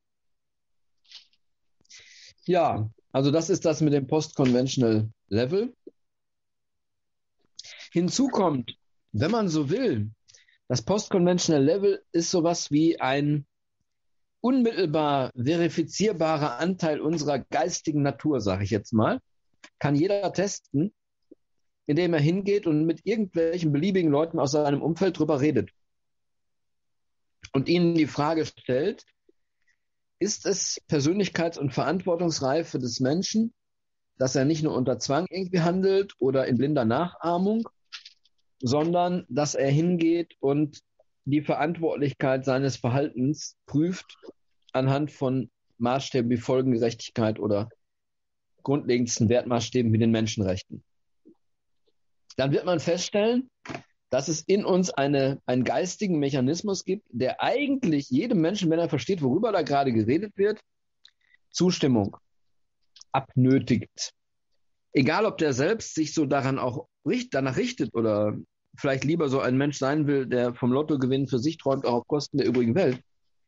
Aber wenn man ihm als theoretisches Konstrukt dieses Post-Conventional Level beschreibt und ihn fragt, was meinst du, ist das äh, so Verantwortungsreife? Dann schafft es kaum einer zu sagen, nee, ist keine Verantwortungsreife. Oder ein, eine Art von Verantwortungsreife zu beschreiben, die ähm, im, im, Widerspruch dann, äh, in den Widerspruch sich stellen mag zu dieser, diesem Konstrukt. Okay. Aber ich habe heute in einem Vortelefonat, ich greife zurück auf das, was ich angekündigt habe jetzt für diesen Beitrag, ähm, habe ich mit dem Dylan schon äh, telefoniert und äh, wir haben uns darüber unterhalten, was sind die allerletzten Grundmaßstäbe, wo man vertrauen kann, dass da gut mit einem umgegangen wird oder dass etwas echt ist. Und der Dylan hat ja auch hier jetzt in einem seiner Beiträge schon gesagt, also er guckt da sehr stark danach, wo kann etwas ähm, missbrauchbar sein? Also dass jemand da was verdienen kann, äh, auch durch äh, Schaden oder durch Falsches, was er tut. Wo ist sozusagen das Geld im Spiel? In der Art und Weise, dass jemand da finanziell aus mir Vorteil schlagen kann auf meine Kosten. Und wenn diese Möglichkeit da ist, ist das äh, zweifelhafter und dubioser und nicht so sicher, als wenn das nicht der Fall ist. Also dass einer nicht aus mir so Profit schlagen kann. Das ist auf jeden Fall auch ein ganz äh, beachtlicher Maßstab. Aber dahinter steht ja auch die Frage dann, um, also bei mir genauso wie bei dem anderen Menschen, wonach richtet er sich eigentlich? Also gibt es einen inneren Maßstab, der eben nicht jetzt, was weiß ich, oberflächliche Gier und Egoismus ist, gibt es da einen Verantwortungsmaßstab, der mich sozusagen darauf poolt, für Sinn und Wohl des Ganzen ähm, mich engagieren zu wollen. Das für mich so als, als Leitmaßstab anzusetzen. Und ich persönlich in meiner Entwicklung, ich habe ja mit 13 Jahren angefangen, da fing das bei mir an mit diesen inneren Fragen, die ich mir gestellt habe, dem inneren Gespräch mit mir selbst, äh, worin ich mir klar wurde, dass ich eine Orientierung für mein Leben finden will. Auch einen Lebensplan. Also ich bin mir sehr bewusst, während ich das sage, wie ungewöhnlich das ist. Es gibt ja den frechen Spruch dazu, woran liegt es, dass die meisten Menschen ihre Lebensziele oder ihren Lebensplan nicht erreichen? Weil sie gar keine haben oder gar keinen Plan. Ähm, gut, okay, aber jedenfalls bei mir war das mit 13 so, dass ich diese Orientierung und diesen Plan haben wollte. Und dann war schnell klar, dass eine ganz, ganz grundlegendste Weichenstellung dafür wohl sein müsste. Also wenn man nicht, ich höre das Bieten, genau. Also mir war schnell klar, hört gar nicht mehr auf, mir war schnell klar, dass eine grundlegendste Weiche, um nicht vermeidbar für Unwichtiges und Verkehrtes zu leben, wäre, dass ich mir genau das eben auch vornehme, nämlich immer auf die jeweils wichtigste Frage die bestbegründbare Antwort zu suchen. Auf die bestbegründbare auf die wichtigste Frage immer die bestbegründbare Antwort, damit ich nicht vermeidbar für Unwichtiges und Verkehrtes leben würde. Und daraus haben sich dann ganz grundlegende Maßstäbe ergeben, die nicht nur darauf, davon abhängen, ob äußerlich jetzt irgendwie, was weiß ich, eine Annahme von mir richtig ist oder falsch, oder welche äußeren Folgen etwas hat, was ich tue, sondern eine intrinsische Werterkenntnis. Und die beschreibe ich aber dann beim nächsten Mal. Ich gebe weiter.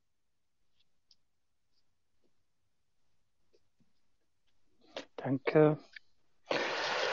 Ja, der Wandel. Der Wandel soll natürlich global stattfinden. Der Wandel ist evolutionär. Das heißt, es findet sowieso Wandel statt. Ähm, und als Utopist und vielleicht nicht in dem Sinne als politischer Realist, sag ich mal, ähm, jetzt ganz naiv, der liebe Gott wird es schon machen. Das heißt, die Erde, unsere Erde, die ganze Welt sehe ich als Lebewesen an und die Menschen als Gehirn, also die menschlichen Wesen, die Sprecher, die Denker, also die Denker sowieso, die Denker sind ja auch Sprecher, aber die Sprecher, die nicht unbedingt Denker sind, sind auch die Gehirnzellen der Welt. Ähm, dann eben noch nicht in der vollen Resonanz mit dem Sinn und mit dem Geist, aber sie wollen erweckt werden, sie wollen aktiviert werden, sie wollen reingeholt werden in den großen Sinn. Und wir vermitteln, wir wollen eben diesen Sinn vermitteln, das ist erstmal das Wesentliche, wie im Gehirn des Jugendlichen, der die Pubertät durchschreitet und Erfahrungen sammeln muss. Also das Gehirn reift von der, vom, vom Kindsein zum Erwachsenendasein. Insofern gibt es für mich auch keine Schuldfrage, weil wir eben als Menschheit noch nicht erwachsen sind in dem Sinne, aber gerade die Schwelle überschreiten, also die Pubertät hinter uns lassen, 2020 und reifer werden und insofern uns unserer Verantwortung besser bewusst werden. Und in dem Maße, wie es geschieht, das heißt, die Menschen sich ihrer Verantwortung bewusst werden und zum Sinn finden, wie ja das, der Sinn jedes individuellen Gehirns auch ist, seinen Körper, dessen Teil er ja ist, gesund zu erhalten und nicht nur das, sondern möglichst auch noch glücklich, so soll die Menschheit eben auch äh, dieses imaginäre Glück und die Gesundheit der ganzen Erde bewirken. Das sehe ich als Ziel und Sinn der Evolution an. Und da wird auch meiner Ansicht nach unweigerlich hingehen.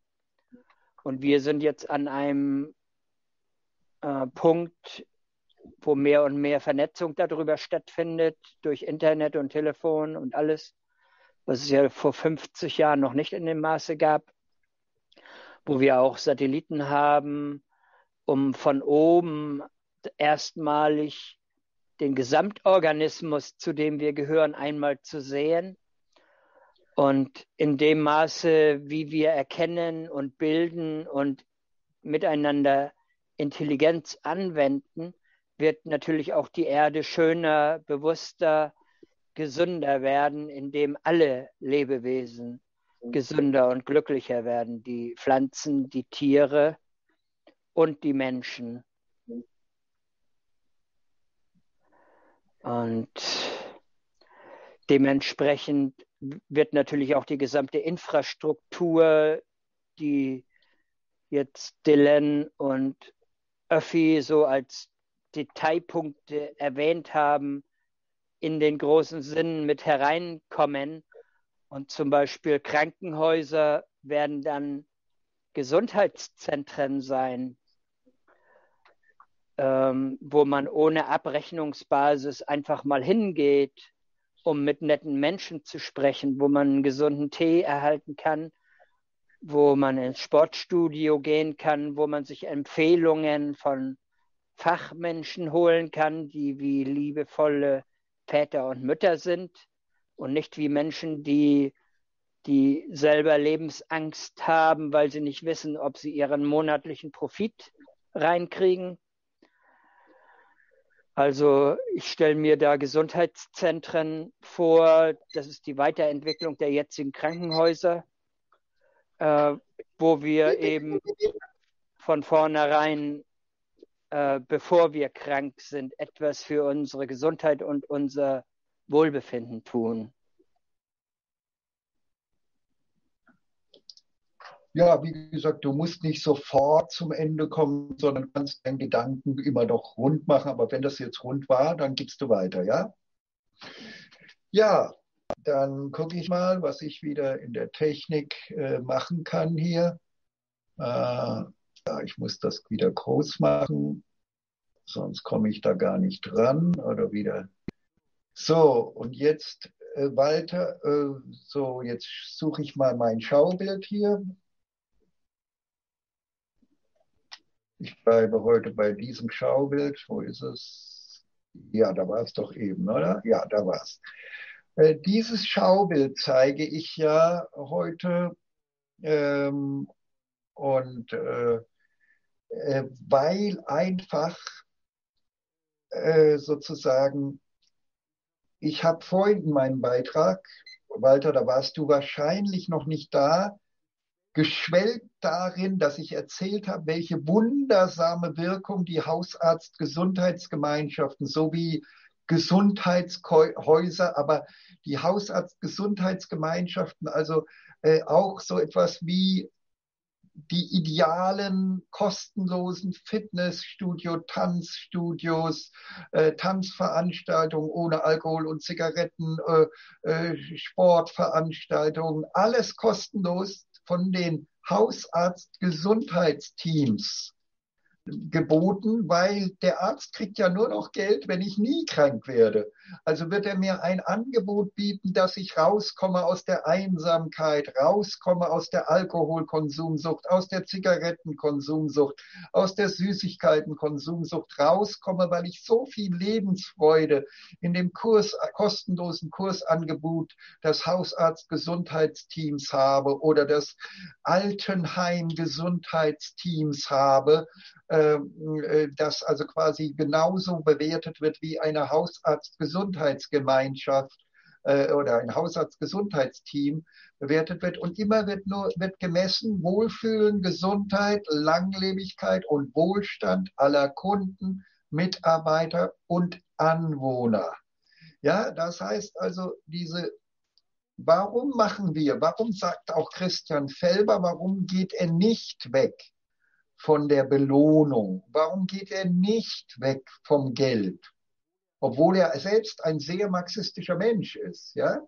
Warum geht er davon nicht weg? Weil wir Naturwissenschaftler und er als Drittel, ein Drittel Naturwissenschaftler ist auch sehr geisteswissenschaftlich, aber ein Drittel hat er auch Naturwissenschaft im Kopf sozusagen weil wir davon ausgehen, dass es doch, äh, also ich wünsche mir ja, dass der Öffi und dass alle pädagogischen Wege, die den Menschen sozusagen eine auf die Geisteskraft orientierte, äh, einen Weg hin zum Gutes tun über Klarheit der Erkenntnis, über gute Argumente und das Beste sinnvoll Beste für das Ganze tun, dass die Menschen das schaffen.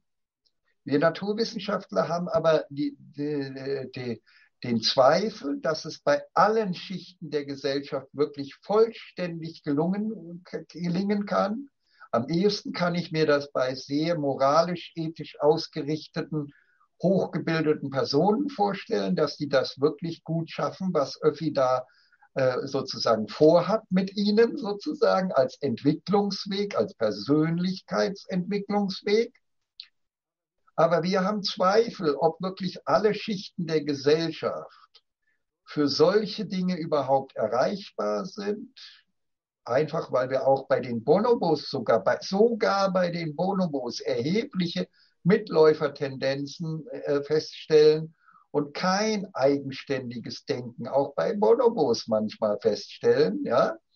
Also äh, von daher denken wir, dass es eben genauso wie es bei den Bonobos noch einen Rest an milden Wettbewerb und Anreizen gibt, dass wir auch bei Menschen äh, zumindest als Übergangsphase diese Anreize brauchen, in denen der Hausarzt äh, der Supermarktleiter, also dieses Schaubild, das ich jetzt zeige, das können wir uns hier als Hausarzt-Gesundheitsgemeinschaften vorstellen, die alle darum konkurrieren, milde und sanft, dass sie versuchen, in der Umkreissuche im Computer als die Hausarztgemeinschaft angezeigt zu, zu werden, die nachweislich die größte Gesundheitswirkung, den größten Gesundheitsnutzen entfaltet.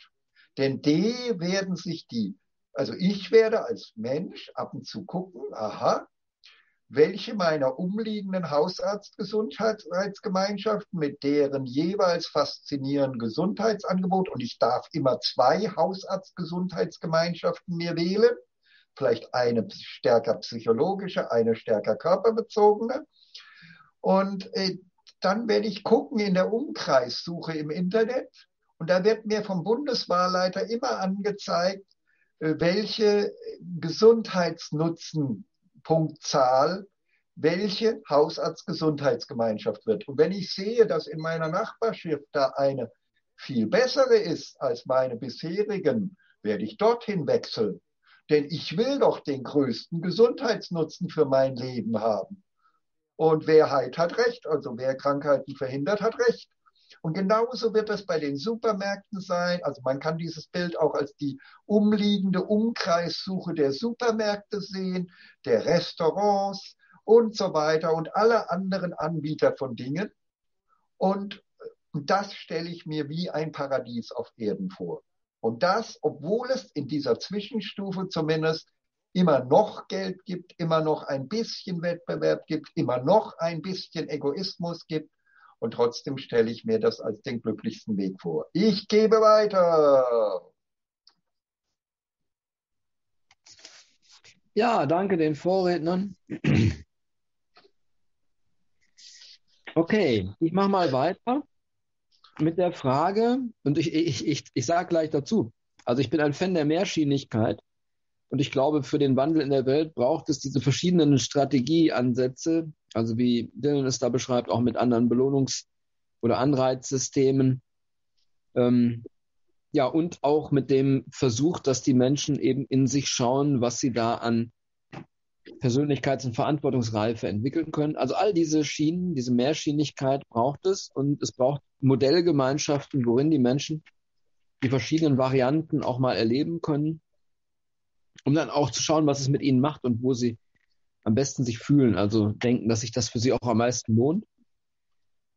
Okay, und damit komme ich aber zu dem Punkt, ähm, wie kommt man an die tiefste Wertegrundlage, um zu beurteilen, worauf sollte man sich einlassen. Also eine Wertegrundlage, die auch dann äh, ja, klar macht, warum man sich darauf einlassen sollte, sein eigenes Wohl mit dem Wohl der Welt irgendwie zu verbinden oder überhaupt verantwortlich sein zu wollen. Und ich sagte, ich bin da als 13-jähriger Jugendlicher in diese innere Orientierung gegangen. Und ein Prinzip, wo eigentlich auch niemand widersprechen wird, ist, äh, dass ich gemerkt habe, um nicht vermeidbar für Unwichtiges und Verkehrtes zu leben, sollte ich, was ich als das organische Denken bezeichne, immer auf die jeweils wichtigste Frage die bestbegründbare Antwort suchen. Und im Gespräch mit Dylan heute am Telefon hatten wir auch, ja, man guckt dann natürlich nach außen, wo erweist sich eine Annahme oder Erkenntnis, die man hat, als richtig oder falsch oder was bekommt man für das, was man da tut oder bei der Orientierung, äh, die man wählt, mit welchen Folgen, positiven oder negativen Folgen ähm, ist das dann verbunden sind interessante Maßstäbe, aber ich glaube eben, es geht noch tiefer. Und das beschreibe ich jetzt, wo ich auch mit 13 dann drauf gekommen bin, also bei den allergrundlegendsten, wichtigsten Fragen und bestbegründbaren Antworten. Und ich lade euch gleich alle ein, liebe Leser, mit überlegen, ne, wo könnte man das noch besser machen? Also die Fragen besser stellen, die Antworten besser geben. Äh, wo ist da eben etwas vielleicht noch nicht so toll, wie es sein könnte? Dann bereichert mich dadurch oder die Entwicklung. Aber ich bin als Jugendlicher zum Ergebnis gekommen, die wichtigste Frage und der wichtigste Maßstab ist, was macht mich glücklich?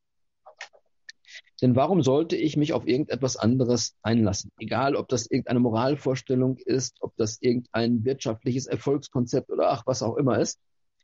Also was macht mich glücklich? Und der nächste Punkt, nächste wichtige Frage und die Antwort, ähm, was bin ich denn? Was ist mein Wesen? Was sind meine Wesensbedürfnisse? Ähm, und wie kann ich die denn erfüllen? Und dann kommt man eben, wenn man schaut, also ob jetzt Biologie, Philosophie, das Animal Rationale, der Mensch mit seiner Vernunftseele, man landet bei so einer Vorstellung vom Menschen als dem Wesen mit der Vernunftseele, also was so denken kann und sprechen kann und darin seine Entwicklung nehmen kann. Und ja, also da bin ich an einem Punkt noch, also das sind sozusagen intrinsische Werte im Menschen, die nicht davon abhängen jetzt, ob er nach außen guckt, ja, wenn ich das jetzt anwende, habe ich da überall immer recht oder wenn ich da jetzt was, eine, eine Erkenntnis oder Schlussfolgerung, kann die richtig oder falsch sein? Klar, kann sie. Aber dass ich so denke und so in solchen Schlussfolgerungen mich entfalte, das wird so ungefähr erlebt. Ich habe mir mal ein Bild dafür auch ausgedacht, um das deutlich zu machen. Das ist wie, als wäre da ein Mensch, der sagt, ich habe eine künstlerische Ader. Und die muss ich ausleben. Das ist so ein wesentlicher Zug in mir, so ein Bestandteil meines Wesens. Ich mache mich auf jeden Fall unglücklich, wenn ich das nicht auslebe. Ob bei dieser künstlerischen Ader jetzt jedes Bild was wird oder ob ich damit mal Geld verdienen kann oder welche Folgen das auch äußerlich für mich hat, äh, wie, wie weit ich damit komme und sowas alles, ähm, ist egal. Also ich merke, das ist so wesentlich in mir, dass mein Glück, mein inneres Gedeihen davon abhängt, ob ich das mache. Also wichtiger als künstlerische Ader ist natürlich die moralische Ehre eines Menschen, sein Gewissen oder sowas. Aber ich habe jetzt mal die künstlerische Ader als Bild genommen. Von der Art jedenfalls ist auch die Erkenntnis, ich bin ein Mensch mit Vernunftseele, ich kann so denken und sprechen. Da brauche ich gar nicht groß gucken, eben äußerlich, ne, wie oft irre ich mich dann jetzt im Einzelnen oder was kriege ich dafür. Äh, das ist viel stärker noch als die künstlerische Ader, die ein Mensch da hat als seine Besonderheit, ist das das allgemeine Menschsein was sich in diesem Wesen so ausdrückt oder damit beschrieben werden kann. Und damit komme ich jetzt zu dem Punkt, ähm, wie verbindet sich dann eigenes Wohl mit dem Wohl der Welt? Wenn man das ernst nimmt, dass man im Wesen eine Vernunftseele, ähm, höre ich das piepen, okay, äh, wenn man es ernst nimmt, dass man in seinem Wesen eine Vernunftseele ist und schaut sich an, was ist denn Vernunft und so, dann sieht man, das ist Denken, was nach Sinn strebt. Am besten natürlich einen Sinn im Ganzen. Und damit landet man automatisch dann bei dem, was im Ganzen sinnvoll und gut ist. Also äh, man sieht die Erfüllung seiner Vernunftseele in dem, was insgesamt sinnvoll und gut ist, was global denken, lokal handeln entspricht. Und daraus kann sich dann vieles andere ableiten, dass man vor allem eben auch mit seinen Mitmenschen, mit den anderen denkenden Wesen sich einigen müsste, darüber so insgesamt verantwortlich zu leben und zu handeln. Und das ist dann das erfüllende Leben. Ich will nur einen Schlenker noch dranhängen, weil wir sind auch kurz vor neun. Also von meiner Seite aus ist das dann der letzte inhaltliche Beitrag, den ich gebe. Ihr kriegt hinterher vielleicht noch eine Umarmung durchs Telefon oder Internet zugeschmissen, liebe Zuschauer, aber als inhaltlicher Beitrag ist das von mir jetzt das letzte. Und ich, ich nehme das mit Freude immer zur Kenntnis, wenn der Walter gesagt hat, er hat da so Informatiker und die überlegen, wie kann da eine tolle Zukunftsplattform sein. Und ich bin ja auch der Ansicht, wir sollten alle Elemente, wo irgendwas in eine gute Richtung geht, auch miteinander verknüpfbar machen. Aber ich muss schon sagen, dass wenn ein Mensch eben aus diesem Gesichtspunkt heraus Vernunft, Seele und Sinn und Wohl des Ganzen als höchster Maßstab, dann wird er nach einer Ganzheitlichkeit und ganzheitlichen Ausgewogenheit schauen. Also ich bringe es mal provokativ auf eine formelhafte Aussage.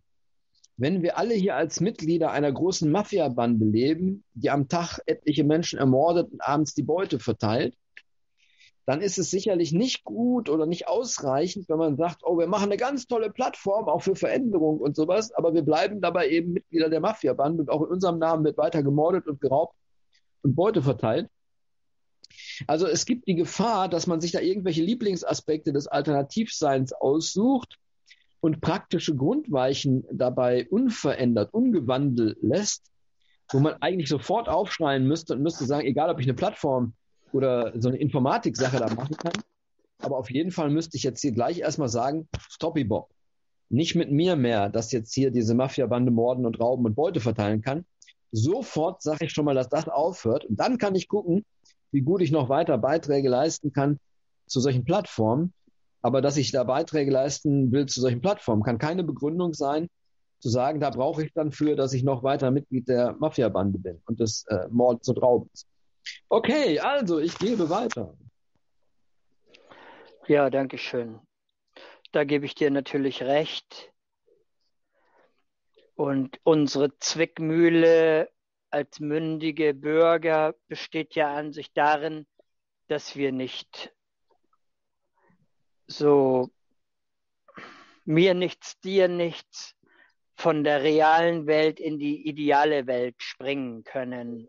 Also innerlich ja, aber äußerlich nein, weil wir sind ja noch Angehörige einer Gemeinde, einer Stadt, eines Landkreises, eines Bundeslandes und eines Staates, eines Kontinents.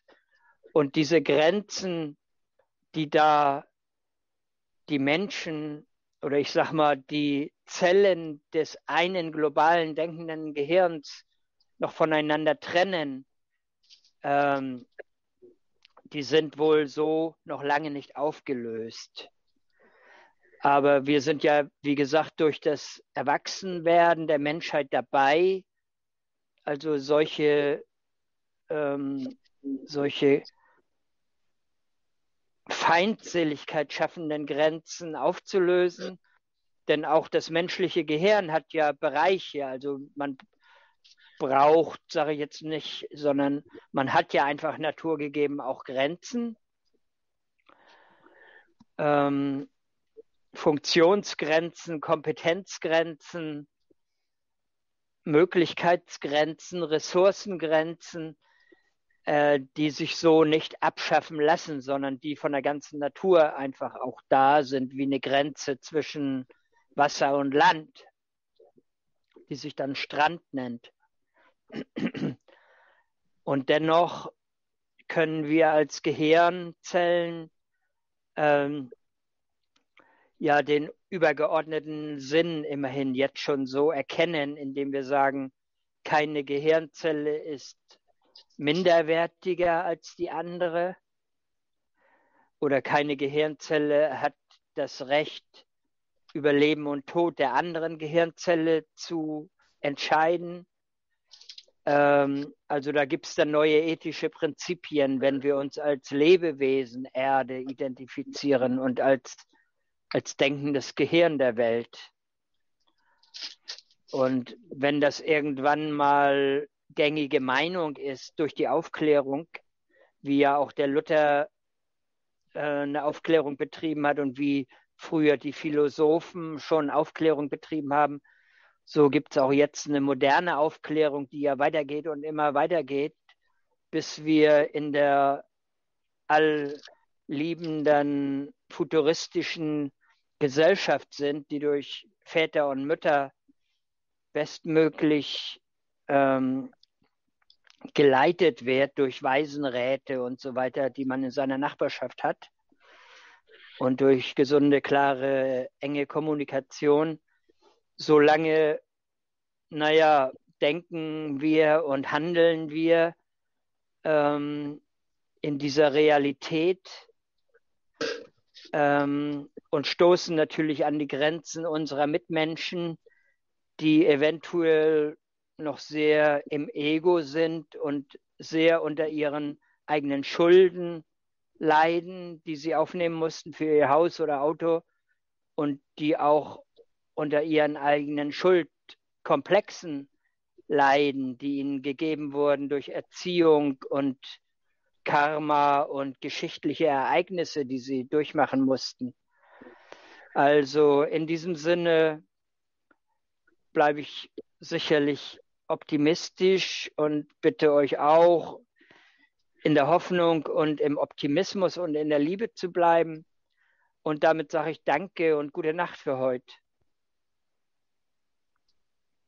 Ja, und ich versuche gerade mal, ob ich äh, doch auch durch Sprecheransicht. Nee, also wenn ich selbst rede, kann ich nicht zum Sprecher werden. Das scheint nicht möglich zu sein.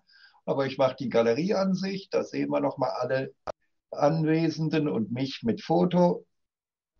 Äh, und äh, mein, meine Schlussbemerkung und meine Schlussrunde ist, dass ich so, ich muss erst mal dazu sagen, ich kriege, weil ich so viel Technik hier um mich herum habe, so viel Gerätschaften, so viel alles Mögliche. Ich kriege hier nicht alles mit. Ich kriege das meiste erst mit beim zweiten und dritten Mal anhören, wenn ich es mir hinterher nochmal anhöre.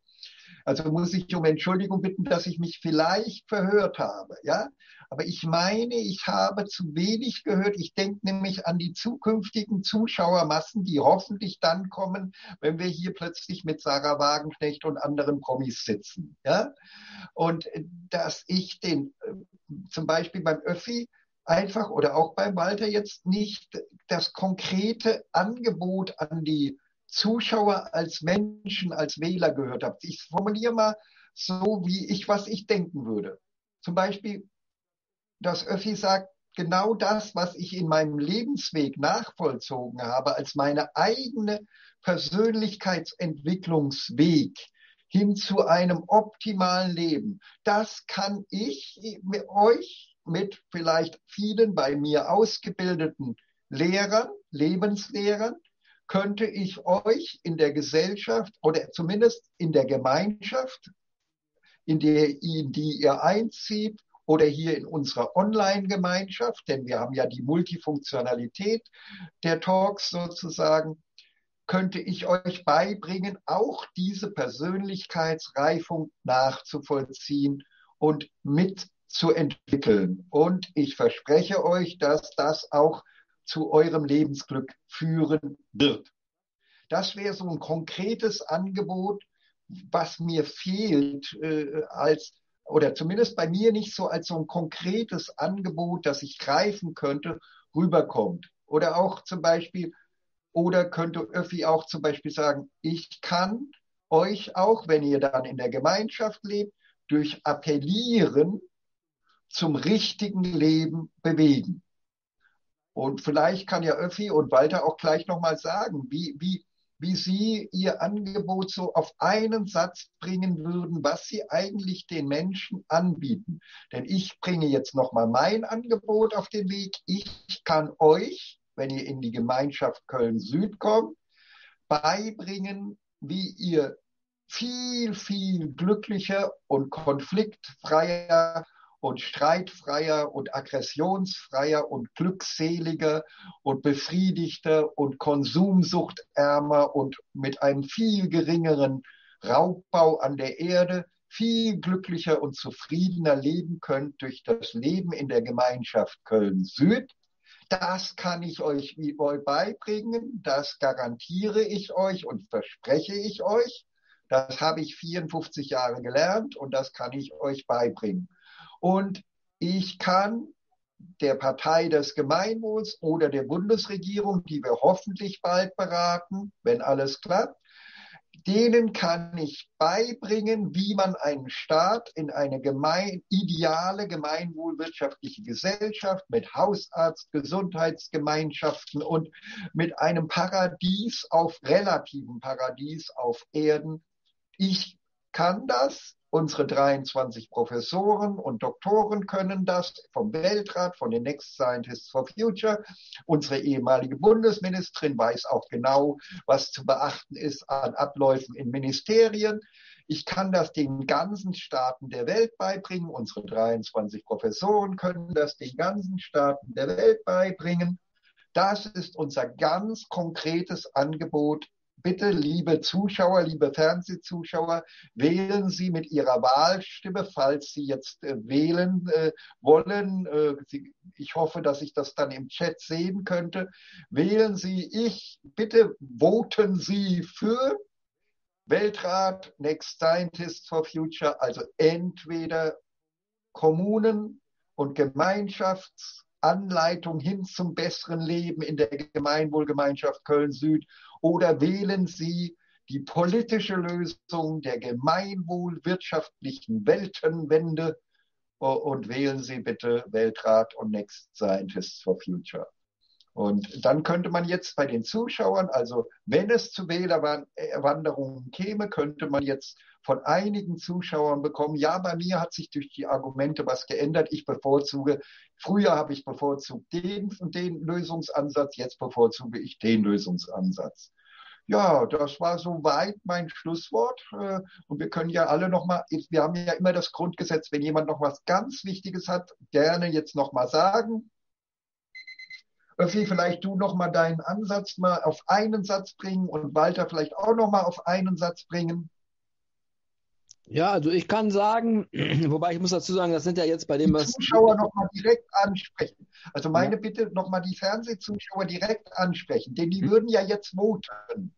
Ja, ja genau, mache ich. Aber ich wollte sagen, ich sehe das, was du beschrieben hast und das, was ich da sage, ja eher als Aspekte eines Angebots. Also wenn die zum Beispiel in so eine Gemeinschaft dann kommen und würden da Praktikum machen, dann würden sie in derselben Gemeinschaft, die jetzt von mir oder von dir wäre, äh, die Möglichkeit haben, sich zu überlegen, ob sie eher an sowas interessiert sind wie solchen Anreizsystemen wie Wohlfühlstimme oder ob sie Post-Conventional Level ausprobieren wollen. Also insofern ist es da ja schwer, für was Unterschiedliches zu voten. Aber ich kann ganz allgemein sagen, das Wichtigste ist, wer in freier Argumentekultur nach einer Lösung suchen will, der findet von mir auf diesem Zugang ähm, ja, jemanden, der da sein ganzes Leben für einsetzt und äh, von meiner Persönlichkeitsentwicklung bis zu den Gemeinschaftsorten, die ich anbieten kann, also den Konsensgemeinschaften globalen Teilens, findet er alles, was ich bisher schaffen konnte, als Angebot auch für sich. Also das heißt, wenn ich nochmal zusammenfasse, du bietest deinen persönlichen Persönlichkeitsentwicklungsweg den Leuten an, dass du auch ihnen diesen Weg helfen kannst zu gehen. Genau. Genau. Und dafür kann man sich ja dann entscheiden, wenn man den für den besten Entwicklungsweg hält. Dann, dann sagt man, ja, ich, den finde ich gut, den möchte ich, dass er in ganz Deutschland vielleicht äh, durch die Publikatoren verbreitet wird, dieser Weg.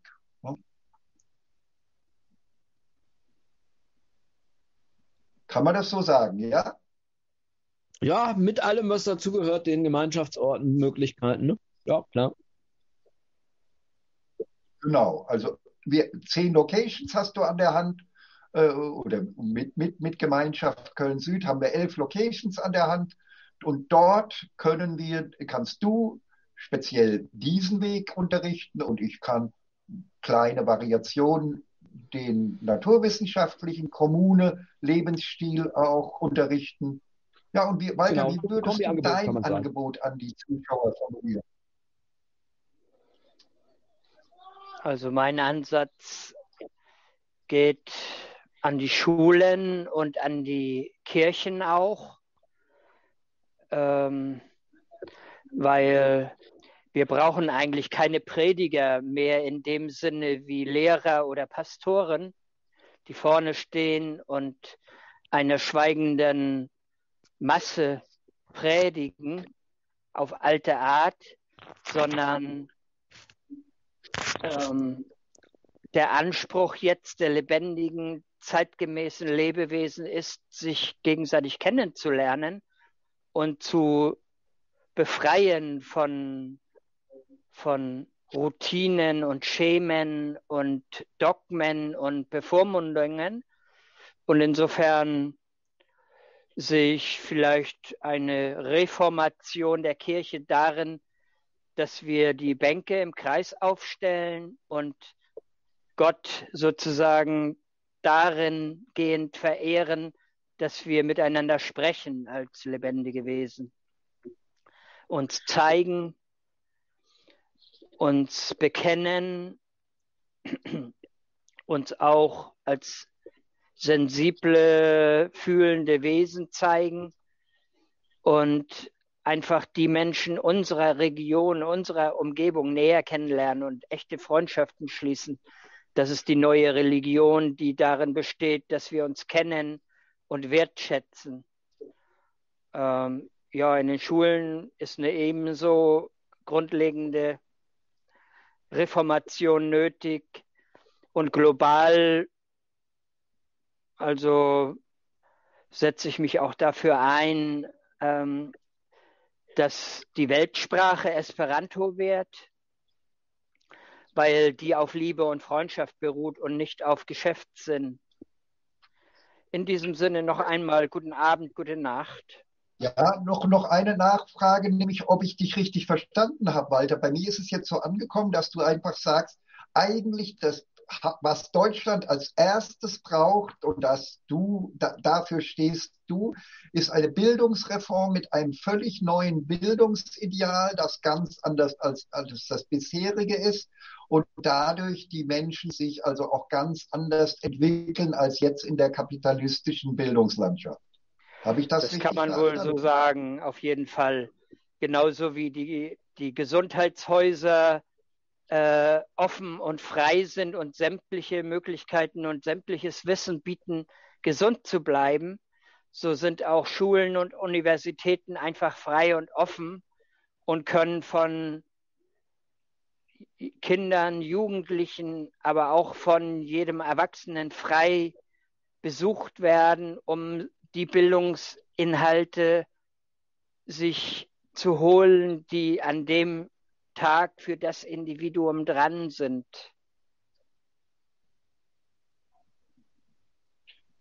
Ja, und dann sage ich nur noch zum Schluss, dass leider äh, von den wenigen Zuschauern, die wir bis jetzt natürlich nur haben, live noch kein Wandelmitteilung haben, also kein Wählerwanderungsmitteilung haben, also dass jemand irgendwie in seiner Wahlentscheidung jetzt äh, anders ist, so nach dem Motto, früher war ich Fan von Sarah Wagenknecht, jetzt bin ich Fan von dem Ansatz von Walter oder von äh, Öff oder von äh, Gemeinwohl, GWO, Gemeinwohlorientierte Wirtschaftsordnung, das haben wir noch nicht, aber das wird ja dann irgendwann bei vielen Zuschauern automatisch kommen. Ja, haben wir noch was Wichtiges oder können wir uns verabschieden und auf Samstag herzlich alle eingeladen für Samstag, die nächste Vorrunde und dann wieder Montag, ne? Samstag 20.15 Uhr. Alles Danke. klar, für alle, gute ja. Nacht.